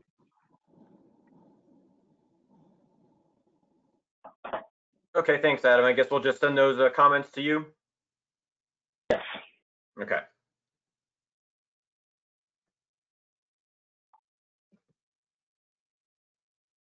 All right, thanks for that. Uh, moving on to item 8D, uh, sorry, 8C. Uh, this is the CMAQ and STBG slash RSTP uh, methodology update. Uh, so just wanted to provide the group a brief update on this. Uh, we kind of talked about it a little bit this morning. Um, the TAC has started to take steps to update FAMPO's current CMAQ RSTP methodology. Uh, we're working with the localities and FAMPO staff to kind of create uh, separate prioritization methodologies. One for CMAQ, which kind of focuses more on congestion uh, relief and improving air quality, and then a separate uh, methodology for STBG slash RSTP funding, which will try to seek uh, to take more advantage of the inherent flexibility of those fundings for transportation improvements. Uh, so far, we've kind of developed a, a, draft methodology based on similar processes utilized by MPOs out in Hampton Roads, uh, Richmond, and Roanoke. Uh, but obviously, these documents still need quite a bit of work to put together. Um, TAC is working to try to have this methodology update completed before the end of the year and then circulate to uh, committee members for further comments and input. And uh, as Jamie and Christine kind of mentioned before, we're certainly looking to institute processes to have further inclusion of uh, transit organizations as well to try to limit the number of applications we receive so we can really uh, put this funding to good use. Uh, that being said, I'll open up if there's any further uh, questions regarding this. Alex, Michelle, are you guys planning to share your drafts with VDOT and DRPT as you develop those? Yes. Yeah, right now we have just a very rough draft put together, which we kind of borrowed heavily from Hampton Roads and Richmond and all. So I think we still need to do a little bit of polishing on that before we go ahead and give it out to the group as a cohesive document for review. Okay, thank you.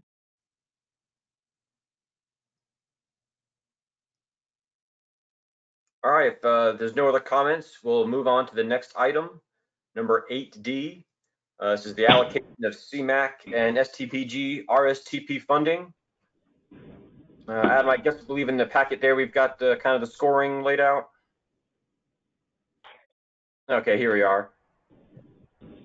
So these are the uh, what we had. We had four projects uh, that were submitted for CMAQ RSTP funding, and uh, staff scored.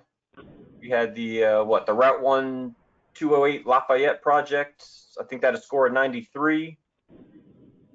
Uh, we had the Route 1 Telegraph Road with a score of 80.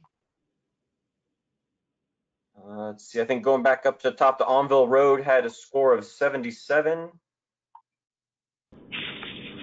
And then last but not least was the uh, Boulevard uh, VCR Trail Connector with a score of 75.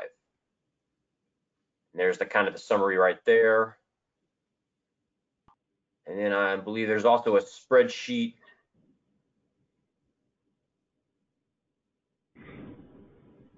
Yeah, here. So this right. So Alex, just go ahead, Adam. Yeah, just real quick, uh, just wanted to point out for the group. So this is reflective of the resolution that was passed by the policy committee on June 15th. Um, so resolution 2040. Um, so just wanted to help everybody sort of uh, kind of trace through the different steps that have been involved here. So that's that's the purpose of including this document. Um, and then this next document is reflective of the proposed resolution 2103 which formerly was 20-46 on June 22nd, but of course um, uh, was not voted on at that meeting. So um, this uh, spreadsheet here that's attached to this draft resolution is reflective of the sort of latest iteration of the overall proposal for allocation of funds. All right, yeah, and I believe this shows kind of where we've taken some previous years and out year funding from public involvement and uh, other areas of FAMPO and would place that on the Route One and Telegraph Road project.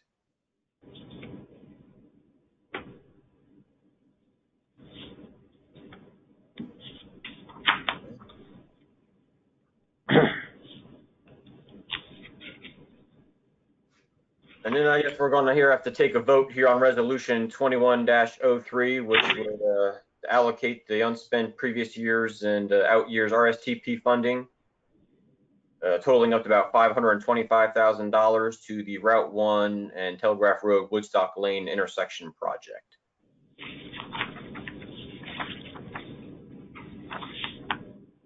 Do I have a motion?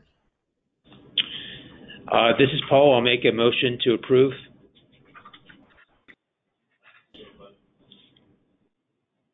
Any second? This is Eric. I'll second. All right, uh, any uh, further discussion? This is Kate. Can I just ask a question? Um, could you guys explain kind of how these transfers were developed?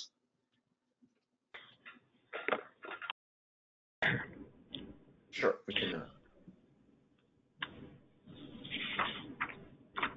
think there's a detailed sheet that kind of shows where the transfers were coming from. Sorry, maybe I should clarify. Is this something that locality staff prompted? Have we discussed this at prior TAC meetings? That's the kind of question that I'm asking.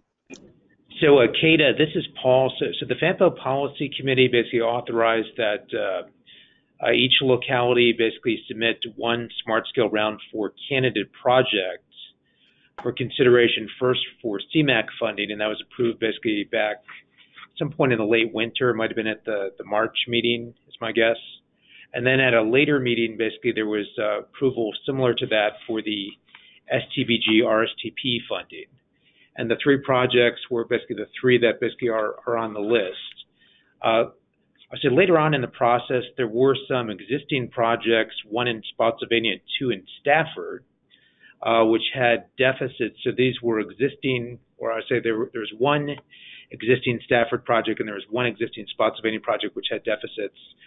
There was also basically a Stafford project for Route 1 Telegraph Road, which was uh, not not on the CMAQ RSTP list, but which basically was added for consideration, basically for uh, uh, CMAQ RSTP funding. Um, and then basically based on that, it was the locality staff working with the the FAMPO staff, uh, and I'll say that basically the CMAQ allocations were developed first because that was earlier in the process, and then the STBG RSTP allocations were developed later. I'll say that the CMAQ allocations were, I think, approved by FAMPO back in July, it's around June 15th. The uh, the RSTP allocations have not been approved yet, and that's kind of what's on the spreadsheet 2103. Thanks, Paul. That's helpful. Sure. Okay, any uh, further discussion before we call the vote? So we're adding this project. We're not going to wait until we finalize this round of call for call for projects to add this.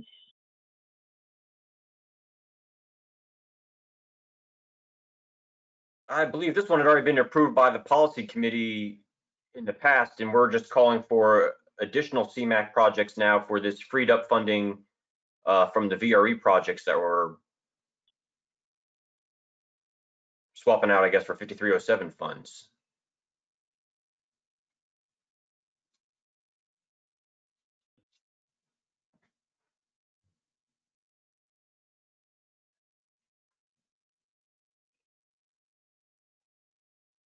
Yeah, I think this is Jason. I think there was a little bit of confusion um, because at, at, one point um, the Telegraph Road project came in late in the process, um, and so I think there was a little bit of confusion even at the policy committee level over whether or not that project had been, or whether or not funds had been allocated towards that project, and no funds have been allocated towards that project. This is just part of the process going through. Um, Stafford requested consideration for that project outside of the normal call previously requested consideration from the policy committee to s- submit that project for STP funding in the near term because of funding shortfalls. So that was approved by the policy committee in June to submit um, for that and score it. Um, and so that's for consideration only for STP. I don't, well, I don't think we put, we didn't put any, we didn't request any CMAQ on it. I don't believe so. I, I understand that sorry. the, the, the scoring just was available just in this agenda package, correct? That's the first time there's been any scoring information available? Um, Adam, correct me if I'm wrong. I think it was av- available or it was presented at the last policy committee meeting, or it was supposed to be, but that got cut short. Right. The the uh, three projects that were initially considered for CMAQ uh, funding, uh, the scoring has been presented at all three of our committees for those. Um, since the Telegraph project was, since we were directed to score that on the 15th, um, we have added that to this scoring. So it is scored against the other project in its category. But Adam, that was not available at the last policy committee agenda package, correct? For Telegraph, no. On the 15th, that was the first time they directed us to score that project. So this is the first time we're presenting scoring for the Telegraph project. Adam, I think it was available in the 22nd meeting for the policy committee, correct? The scoring? The, yes, it would have been in the packet. And um, we did notice an error that we made using one of the tools. So we have updated the scoring to be reflective of, of what we believe is the correct use of a tool um, for the scoring. So there's basically a spreadsheet. Um, I'm not sure if it's an EPA spreadsheet, but one of the metrics uh, for the category that Telegraph is in is to measure the change in level of service um, due to the project. And we had incorrectly used that tool the first time we presented the scoring in the 22nd packet. Gotcha. Thanks. We understand that, but we'll, we'll remind that there, there is a, a requirement that when you open the call for projects, it has to be open for all projects, not just one. So that, that's always been our, our concern with the process and making sure that this process has been followed properly. Yeah, and I think the the nuance or the, at least the difference there, Michelle, and, and again, this is part of the confusion was this. It wasn't a call for projects on on the. There wasn't a second call for projects. There was a request for consideration for the Telegraph Road project because of the, the funding shortfalls, and that's something that um, FAMPO has done before. Um, I, I know we could talk about that more, but I think that that's the difference here. It wasn't it wasn't a call for projects. Stafford came and said, "Hey, we're having an issue on this project. Could we could we request RSTP funding on it to help out with the funding shortfall?"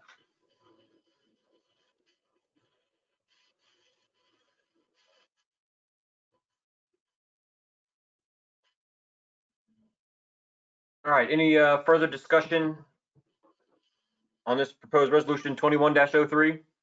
I'm sorry, this is Christine. I just, just to clarify, because I'm, I'm a little confused now with the, the funding, the current CMAQ funding on Brook and Leland, which we've talked about previously of um, reallocating that to some other project. That has not yet been reallocated. That would be done in the fall, in September, in conjunction with this new call for projects. Is that right? That's correct. Okay, just trying to make sure I got everything straight. Thank you. Okay. All right, well, if there's no further discussion, I guess I'll go ahead and uh, we've got a motion and a second. I'll go ahead and call the vote. All those in favor, uh, passing resolution 2103 to recommend to the policy committee, say aye. aye. Aye. Aye. Aye. All right, any opposed, please say no. Michelle votes no. Stephen, no.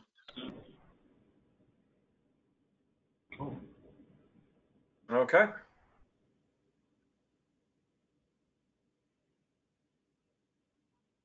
see, moving on next, item, item 8E, smart scale resolutions of support. Uh, Matthew, you want to go ahead and kick this one off? Yeah, so I am sharing my screen now. You all should be able to see it. Um, so we're currently working on the applications and we need to decide which of the five applications or the 10 applications we're going to get down to four and four. Um, so for each, we have the five FAMPO applications and then we have the five GWRC applications and a decision needs to be made um, on which four we're going to move forward this forward with this. So um, right now we're trying to get a TAC recommendation on what the list is going to be for approval. So just kind of opening up discussion um, on that idea. Mr. Chair, this is Eric. Uh, quick question. Yeah. Of the three and four are GWRC resolutions uh, that we, we don't typically get involved in making recommendations to the GWRC. So I don't know if these are, if it's appropriate for us to take action on these or just receive the information.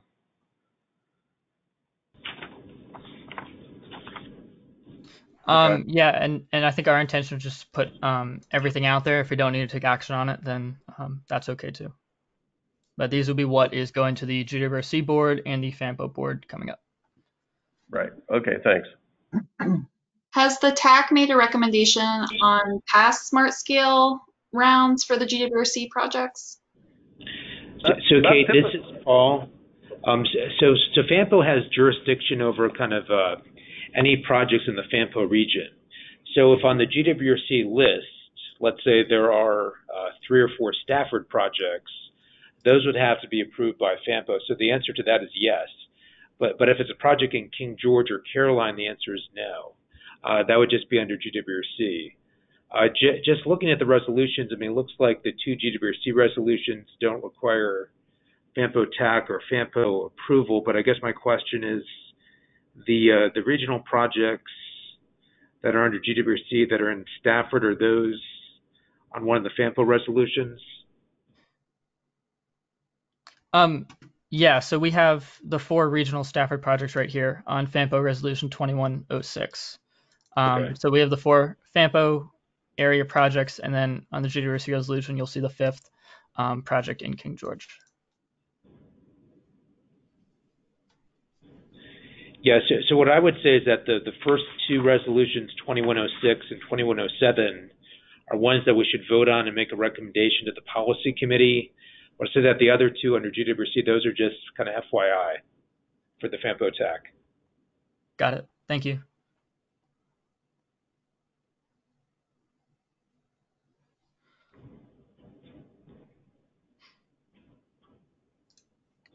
All right, uh, do I have a motion then, uh, regarding resolution 2106? So we need to, Alex, we need to decide which projects we are, um, which project we're dropping off from each of the list as well. So, so Matthew, do, This is, so I think this gets back to Eric's question, which is, you know, if there's five projects and four are need to be approved by FAMPO, but the fifth is not a FAMPO region project, really, I think it should be up to the GWRC board what the four projects are.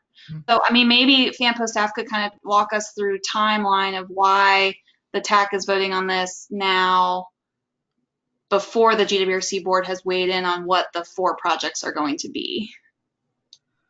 so Kate, I, I don't think there was any intent to basically not kind of, uh, you know, work with GWC. I'll say basically with the, the original schedule, I think it was thought that basically these resolutions had to be approved before the end of July to meet the, the August 3rd kind of deadline. And the TAC, you know, meets before the GWC board. So I think kind of that kind of is how this came about. I say basically with um, the, the final decision on this, it's the GWC board and the FAMPO policy committee uh, when, when, when they meet later this month. I mean, what I'll say is on the, the FAMPO side, we, we are not ready today to decide on what our four projects are. Uh, so, so we, we're not ready to go from five down to four.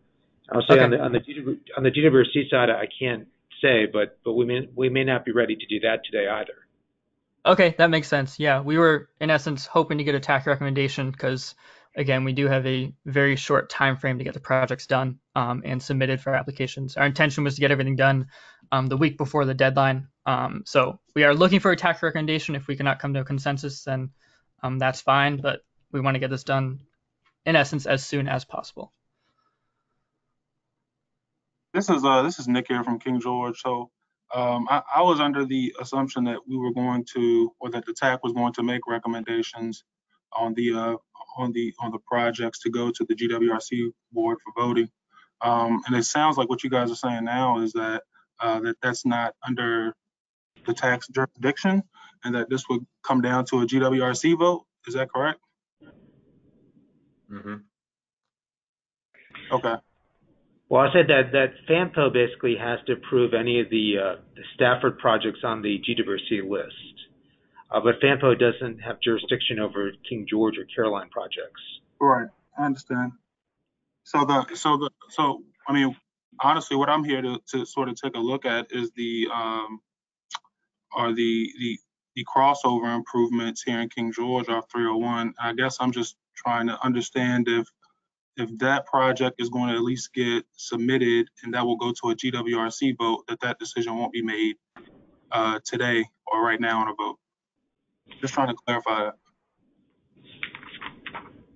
Yeah, so this is Kate. Um, the GWRC Executive Committee is meeting on July 20th for 30 minutes before the FAMPO Policy Committee meeting. And the purpose of that meeting is to pass the resolution in support of their four smart scale projects. So five were submitted for pre-application, but we have to whittle it down to the four for final um, for the final application. So Correct. I'm wondering if this body could simply, you know, support all of these projects and then let it go to the GWRC board for the final um, determination of which ones move forward. I mean, because the FAMPO policy committee is going to, in essence, bless any Stafford projects that the GWRC board pushes forward.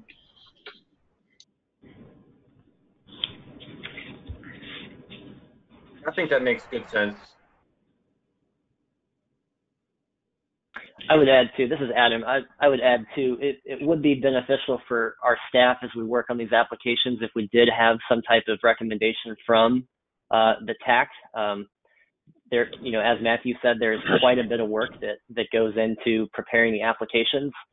Um, so for us to, to work on one that will not eventually be submitted for either list, be it GWRC or FAMPO, is um, not necessarily time wasted, but uh, it, it, it, doesn't necessarily help our cause with a with a short staff. So, um, you know, like Paul said, there there's not a requirement today for the TAC to make a formal you know recommendation to either board, um, but but we would want to see if if there is a jurisdiction that has a project on the table um, that that would consider you know dropping their project at, at this point. Um, it can, of course, go to a, a, vote at both the GWRC board and the policy committee. Um, but but that's kind of where we're at now is is we're we're not looking to duplicate any any efforts here with with our our work.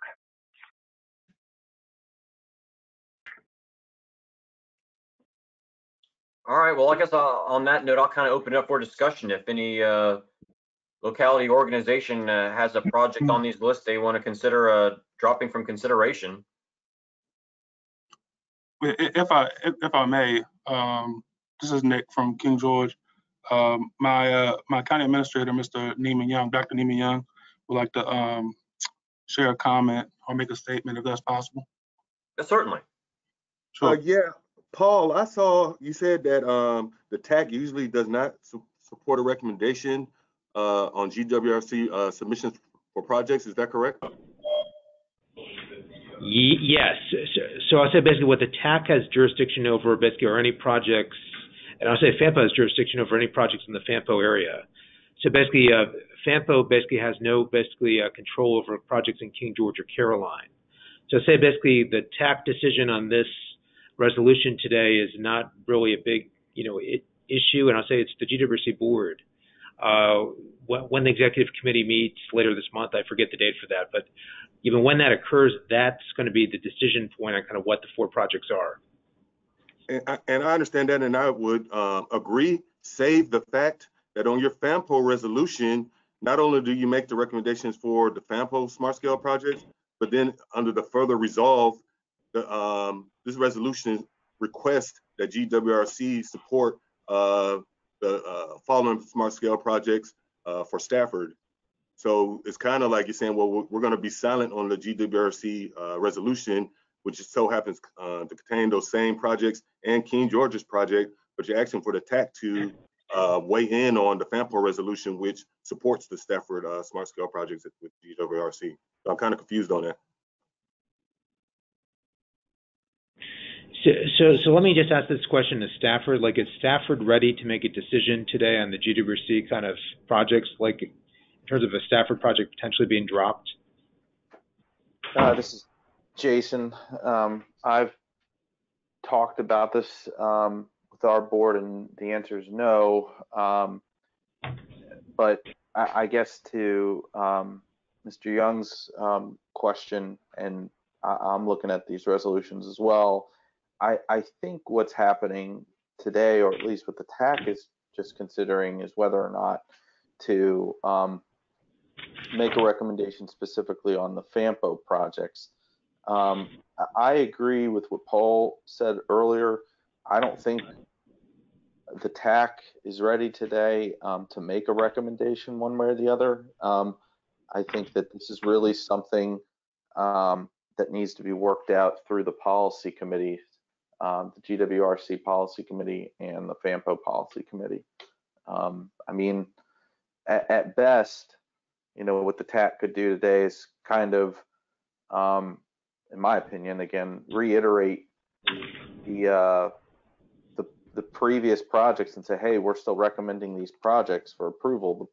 The issue being that, at least on the GWRC side, the TAC doesn't have any um, jurisdiction over, or at least any um, consideration for the King George project. Um, so understand how that may appear, but I don't think I, I don't think there's any intent there. Yes, sir, Mr. Tower. I respect and I appreciate the explanation, but um, it still remains that with that last, last paragraph in this FAMPO resolution that you all asking for the TAC to adopt and endorse, it basically references those four GWRC projects and remains silent on the King George um, project, and then um, it is asked that the TAC remain silent on the GWRC resolution that does contain the King George uh, project. So it seems, or at least implies, that um, the TAC is providing a recommendation on the Stafford projects, and by default is not um, uh, moving forward with any consideration for the King George project, and that's that's pretty concerning. Um, what I would recommend that if, if you all is going to move forward with this, um, um, resolution that at least be amended to include the um, King George project, or be amended to take the last paragraph out and just let the GWRC Executive Policy uh, Committee make decisions on GWRC projects. Yeah, understood. And I think what my recommendation would be would be just to not take action today on these. And Adam and Matthew, I know that keeps you guys a little bit more in limbo at the moment, but I I think that um, that there's that this is this decision's above our pay grade. just say it that way. I leave, would leave it to the policy committees. Yeah, thanks, Jason. And and I would add just a, a couple things to Dr. Young's point. Um, as far as what this eventual FAMPO resolution 21-06 will look like for the policy committee, the intention is that that last paragraph, the be it further resolved section, is simply reflective of what the GWRC board lands on. So if that project list for the GWRC board is three Stafford projects and one King George project, even if that was the case, um, this that paragraph would only list the three Stafford projects because those are the only ones in the FAMPO study area. So the the fact that we have brackets around each of the projects is is meant to indicate that it's just a placeholder right now. So this is not an official endorsement or an official approval of any resolution. This is just to sort of move it, move it on, get a staff level recommendation. But it sounds like um, the rest of the committee is not ready to uh, take action on um, an official endorsement of this at this point. So, um, to your point, understood as far as um, the fact that the King George project is not listed here, but all that last paragraph is meant to be is simply reflective of where the GWRC board lands on those four projects. I understand that, Adam, and I appreciate it. All right, well, hearing from committee members, we're not really ready to take vote on uh, item 8E today. I think we'll just go ahead and table that and move on to the next item in the agenda, which is item number 8F, which is the GWRC draft resolution 2103 endorsing uh, George Washington Region Economic Development Opportunities for Transportation. Uh, Adam? Thanks, Alex. So I will take this one, and we might be in a similar situation as far as the vote or perhaps a recommendation to the GWRC board. So it, it, doesn't sound like that that's an official step that would need to take place, but effectively what this document is. Um, so I'm going to go ahead and pull up the 2018 version for Smart Scale Round 3. Uh, this is basically a document that's meant to show a strong connection between economic development initiatives in the region and tie those to transportation projects. So I'll just sort of briefly scroll through this document for those who have not seen it. Um, the first half of it basically says here's uh, kind of what the region looks like from a um, from an economic development perspective. Here's some of the major projects that are going on. Here's what the um, local documents say as far as you know the city of Fredericksburg, Stafford, King George, all of our jurisdictions as far as um, what they respectively do for economic development. And then what we do at the end is basically take all of that information and say that there's a very strong connection between that and then the projects that are being put forward, um, not just for smart scale, but um, but as a whole, you know, within the region. So it's it's it's meant to show that strong connection. So that's just sort of a quick background as far as the purpose of this document. And so what we've been required to do for Smart Scale Round 4 is effectively update this information to be reflective of the current scenario in the region for um, for 2020. So what we've done is we've worked with Go Virginia staff as well as staff at FRA over the last few weeks to get this document updated. Um, so did want to say a thank you to those of you who have uh, worked with Jordan Chandler over the last few weeks to get your respective jurisdictions um, or agencies project list updated. So let me scroll quickly to the very end to show you what I'm talking about there. So essentially each, each locality, each agency that has um, projects in the region, we just want this list to be reflective of what, again, the current sort of universe of projects is um, so that when this is considered with our smart scale applications, um, again, we can show that strong connection between economic development uh, and, and transportation, of course. Um, so what we wanted to do today is just bring this to the committee's, um, you know, just bring this to the table for everybody's awareness, but then also um, there's one specific section of the document that we are asking for a little bit of feedback on.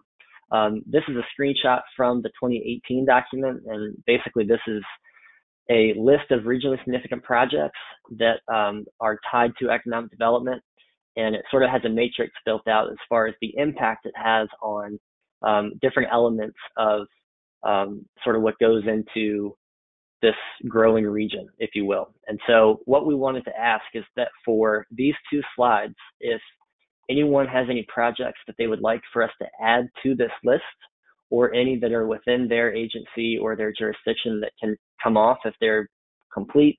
Um, you know, that's just something that we would want to know so that we can finalize this document. So we are we are hoping to get this finalized uh, and put this before the GWRC board at their July 20th executive committee meeting. Um, so we will send this out to the TAC after this meeting and simply ask if there's any projects that need to be added to this list um, that that you know just please let us know um, as as far as that goes. And so, um, again, going back to the agenda here, I, I don't believe we actually need, um, from a process point of view, a recommendation for approval of this document to the GWRC board. It's just something that that we will, as a staff, put forward uh, for their executive committee on on July 20th.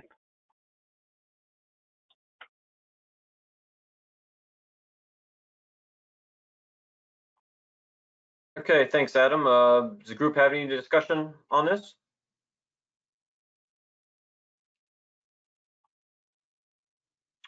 All right, hearing none, we'll move on to item item 8G, the public comment period report summary. Uh, Stacy, could you kick this off for us?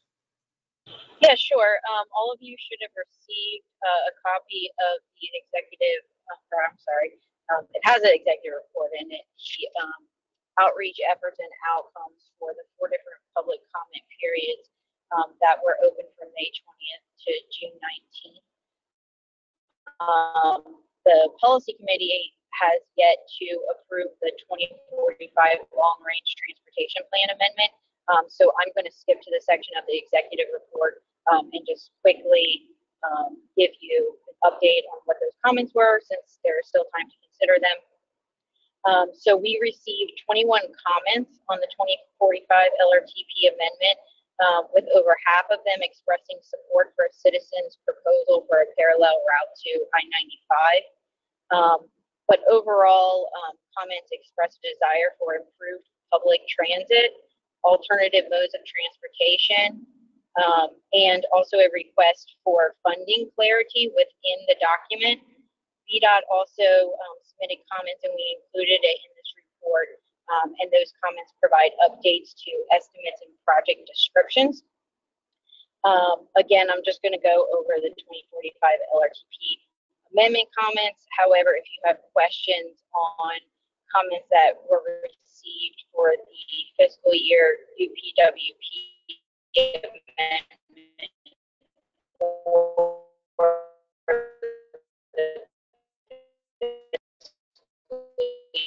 year 21 UPWP, we did have comments for those, and if there's interest, I'd be happy to uh, review generally what those were.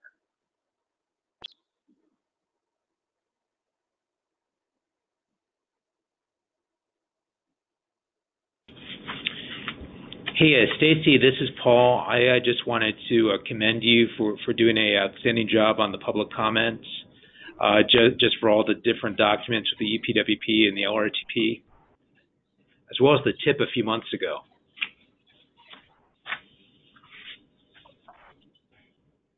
Thank you, Paul. I appreciate that. This is Kate. I'll echo that. Excellent work. Probably the most public involvement we've seen on any of these documents in recent history. So well done. Thank you, Kate. So, so this is Paul. I, I actually had a comment on the last agenda item 8F. I missed this, but also that draft resolution 2103 that that should go to basically FAMPO for the FAMPO region projects, and it goes to GWRC for King George and Caroline. And, and the way kind of it's written, it looks like it's just going to GWRC. Okay, yeah, Paul, we did a little bit of research um, as far as what was done in round three. So, so you're saying that the that the approval of the document should go to FAMPO as well? Yeah, it, sh- it should go to both. Okay. Yep, we can do that. We'll make sure that that's on both agendas. Sure.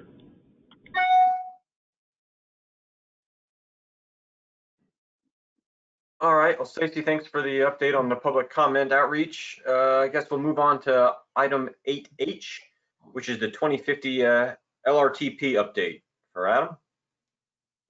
Thank you, Alex. So do have a quick update as far as the sort of picking up of the 2050 LRTP effort that we started. So going back a couple months ago, the original plan um, as of maybe February or March was to pick this back up once we get a new FAMPO administrator hired. Uh, we're still not quite there, unfortunately, so we do need to get this project moving again. Um, so what we've done, we've started to develop a work plan that will outline all of the tasks and sort of a schedule between now and late 2021. So this effort started in FAMPO back in FY19, so there are thankfully a handful of tasks that are already complete. So what we have done here in the past couple weeks is we've worked a little bit with Paul and made a list of tasks that need to be complete and sort of split those up between what we have the capability and the bandwidth to do in-house versus what we need to um, ask for assistance from a consultant with. So what we've done is um, sent a list of tasks over to Cambridge as of last week and asked them to develop a statement of work for a task order. Um, so we should be getting that back from them with a cost estimate, um, hopefully sometime this week.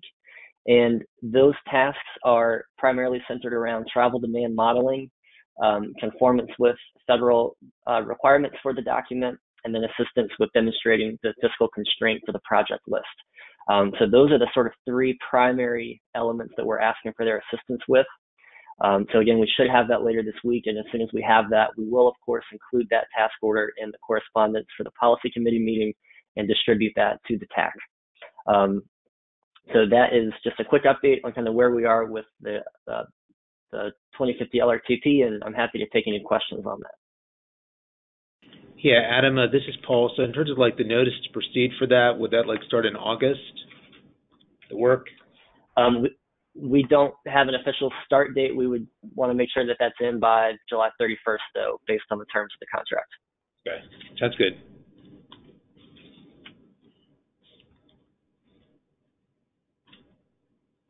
All right, well, hearing no further questions from Adam, we'll move on to item 8I, which is the uh, GWRC 2050 LRTP update. Uh, Carrie? Good morning, everybody. Adam, you can go ahead and just give it a quick scroll through while I'm talking. Thanks. Um, so presented in your packet is the draft 2050 GWRC Rural LRTP covering the counties of Caroline and King George. If y'all would please take a look at it and pass along your comments to us by the end of this month. Uh, we'll be presenting it at the final draft, uh, sorry, presenting the final draft at the August GWRC meeting. So that's pretty much it. And if you have any questions, just let me know. Thanks.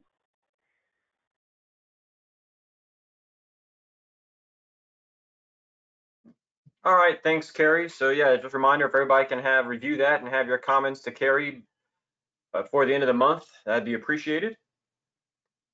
All right, uh, next move on to 8J, a discussion on the TAC bylaws and voting and membership. Paul?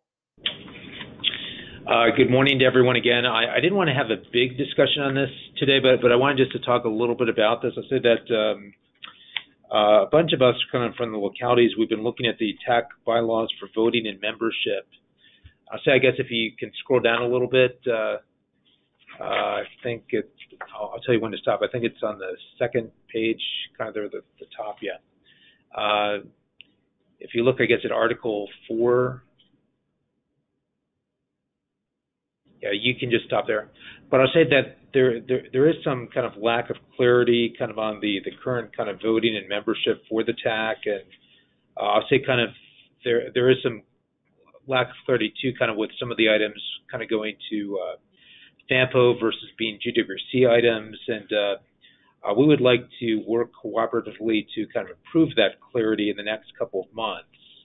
We, we would also like to work to make the, the TAC voting more consistent with the, the FAMPO Policy Committee. FAMPO Policy Committee has three votes per FAMPO locality, and then basically uh, there's one vote for transit, which is uh, under PRTC currently, and there's one uh, vote under the state for the Secretary of Transportation, which is under VDOT currently, and we, we would like to be more consistent with that. Uh, so, so, we want just the group to be aware of this, and uh, uh, we're, we're, we're looking to work on this in the next couple of months. Uh, with that, I'd be happy to take any questions, and I guess I'll, I'll, I'll also kind of throw it open to Stafford and the city to kind of add to what I've said.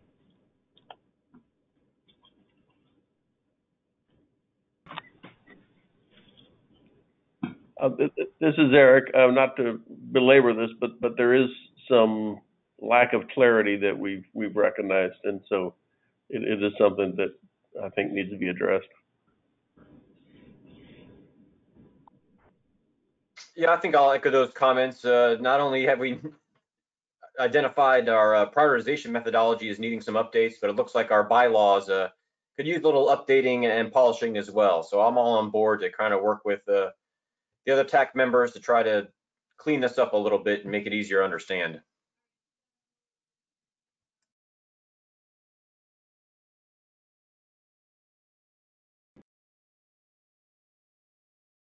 Any other further discussion? I'm good. All right, then I guess we'll move on to the next uh, item number nine, uh, correspondence. Don't have any correspondence. Say that again, Adam. Sorry, we don't have any correspondence today, Alex. Okay. Uh, moving on into uh, staff reports. Any staff reports? Not today. All right. Next, member reports. I guess uh, Paul will go ahead and uh, kick it off with you. Anything for uh, Spotsylvania? So I'll say we're working on a smart scale, and I guess one, one, one thing I guess I'll just throw out to the group with uh, you know just the the TAC recommendation from policy. If we needed to have a short meeting maybe uh, next week, at the beginning of next week. Uh, for smart scale recommendations for FAMPO, that's something that we would be open to participating in. Uh, the the other thing I guess I wanted to ask is just the the date of the uh, September TAC meeting. I'll say that I'll, I'll be away basically on vacation on August 31st. I was wondering if it would be possible maybe to uh, reschedule that for September 14th. I'll say for some reason on, on our calendar we had September 14th was the date. So I guess we were surprised to see that it was August 31st. Yeah, Paul, I can chime in on that real quick. We did uh, push that up to the 31st in light of Labor Day. Um, makes it a lot easier on us to be candid when there's a little bit more time between the TAC and the policy committee meeting. So we, we propose to push it up rather than leave it back. Um, if the group wants to move it back to the 14th of September, we can do that, but our recommendation would be to keep it at the 31st. But Alex, we'll leave that up to you. I'll, I'll say another option is could we do September 8th? It's a Tuesday.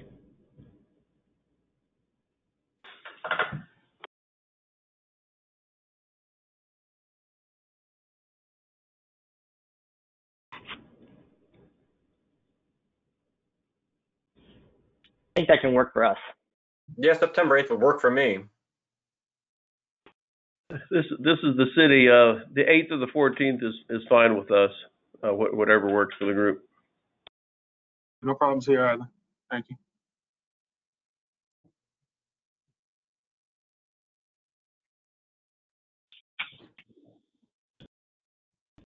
Okay, well then I think maybe we'll go back and handle that. Uh, we'll maybe look at switching the meeting date on number 12 when we get there. Um, I guess, Paul, does that wrap that up for you as far as uh, Yeah, reports? I, I, I, I, I- I did not have any other comments. Thank you very much. Okay.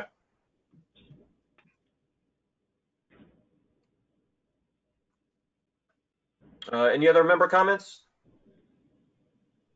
Yeah, so No- actually. Go, go ahead. um, for DRPT, the CTB approved additions to their to the FY20 SIP at their June meeting, and um, so the workshop presentation to the CTB and the workshop video, as well as the CTB resolution, can be found on the CTB website. And um, the next steps are DRPT will reevaluate the alloc- allocations based on revenue projections and agency needs in September. And that's all we have. Okay, thanks, Sierra. Yeah, this is Nick. Um, I just wanted to thank GWRC staff for the, the good work they did on the uh, LRTP um, for King George and Caroline County. It was, it was really well written and uh, very good report. So I appreciate that.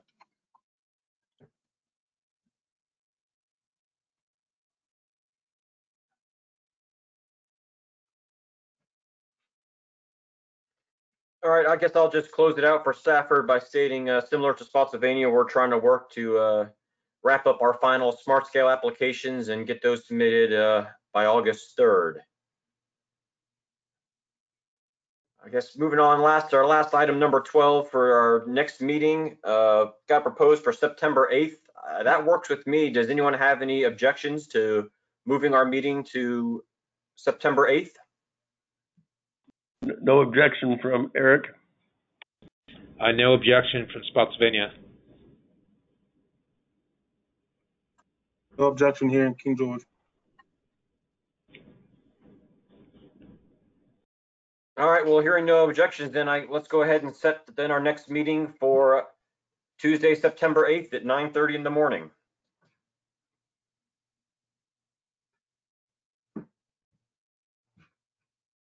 This is Sierra Williams with DRPT. Can I just add one more thing? My apologies. I forgot to introduce um, Kate Youngbluth. She is the manager of Northern Virginia Rail Projects for DRPT. So um, she may be attending some of these meetings. So I think she hopped back on. Um, but I just wanted to take the, the, the time to introduce her. Thank you, Sierra. This is Kate Youngbluth. I'm glad to have joined you all. I just recently joined DRPT uh, at the end of last year and um, am getting uh, involved with uh, all kinds of things throughout the Northern Virginia region. I'm glad to be uh, um, participating with you all and get to know you guys uh, as weeks come uh, forward. And I'll be um, definitely attending the next September 8th meeting, no objection from me on that. Not that I'm a voting member. It's, it's typically going to be Sierra and Todd that you'll see at at the meetings as you had in the in the um in the past, and I'll just be participating in the future. So glad to join you. Thanks so much, Sierra, and everybody.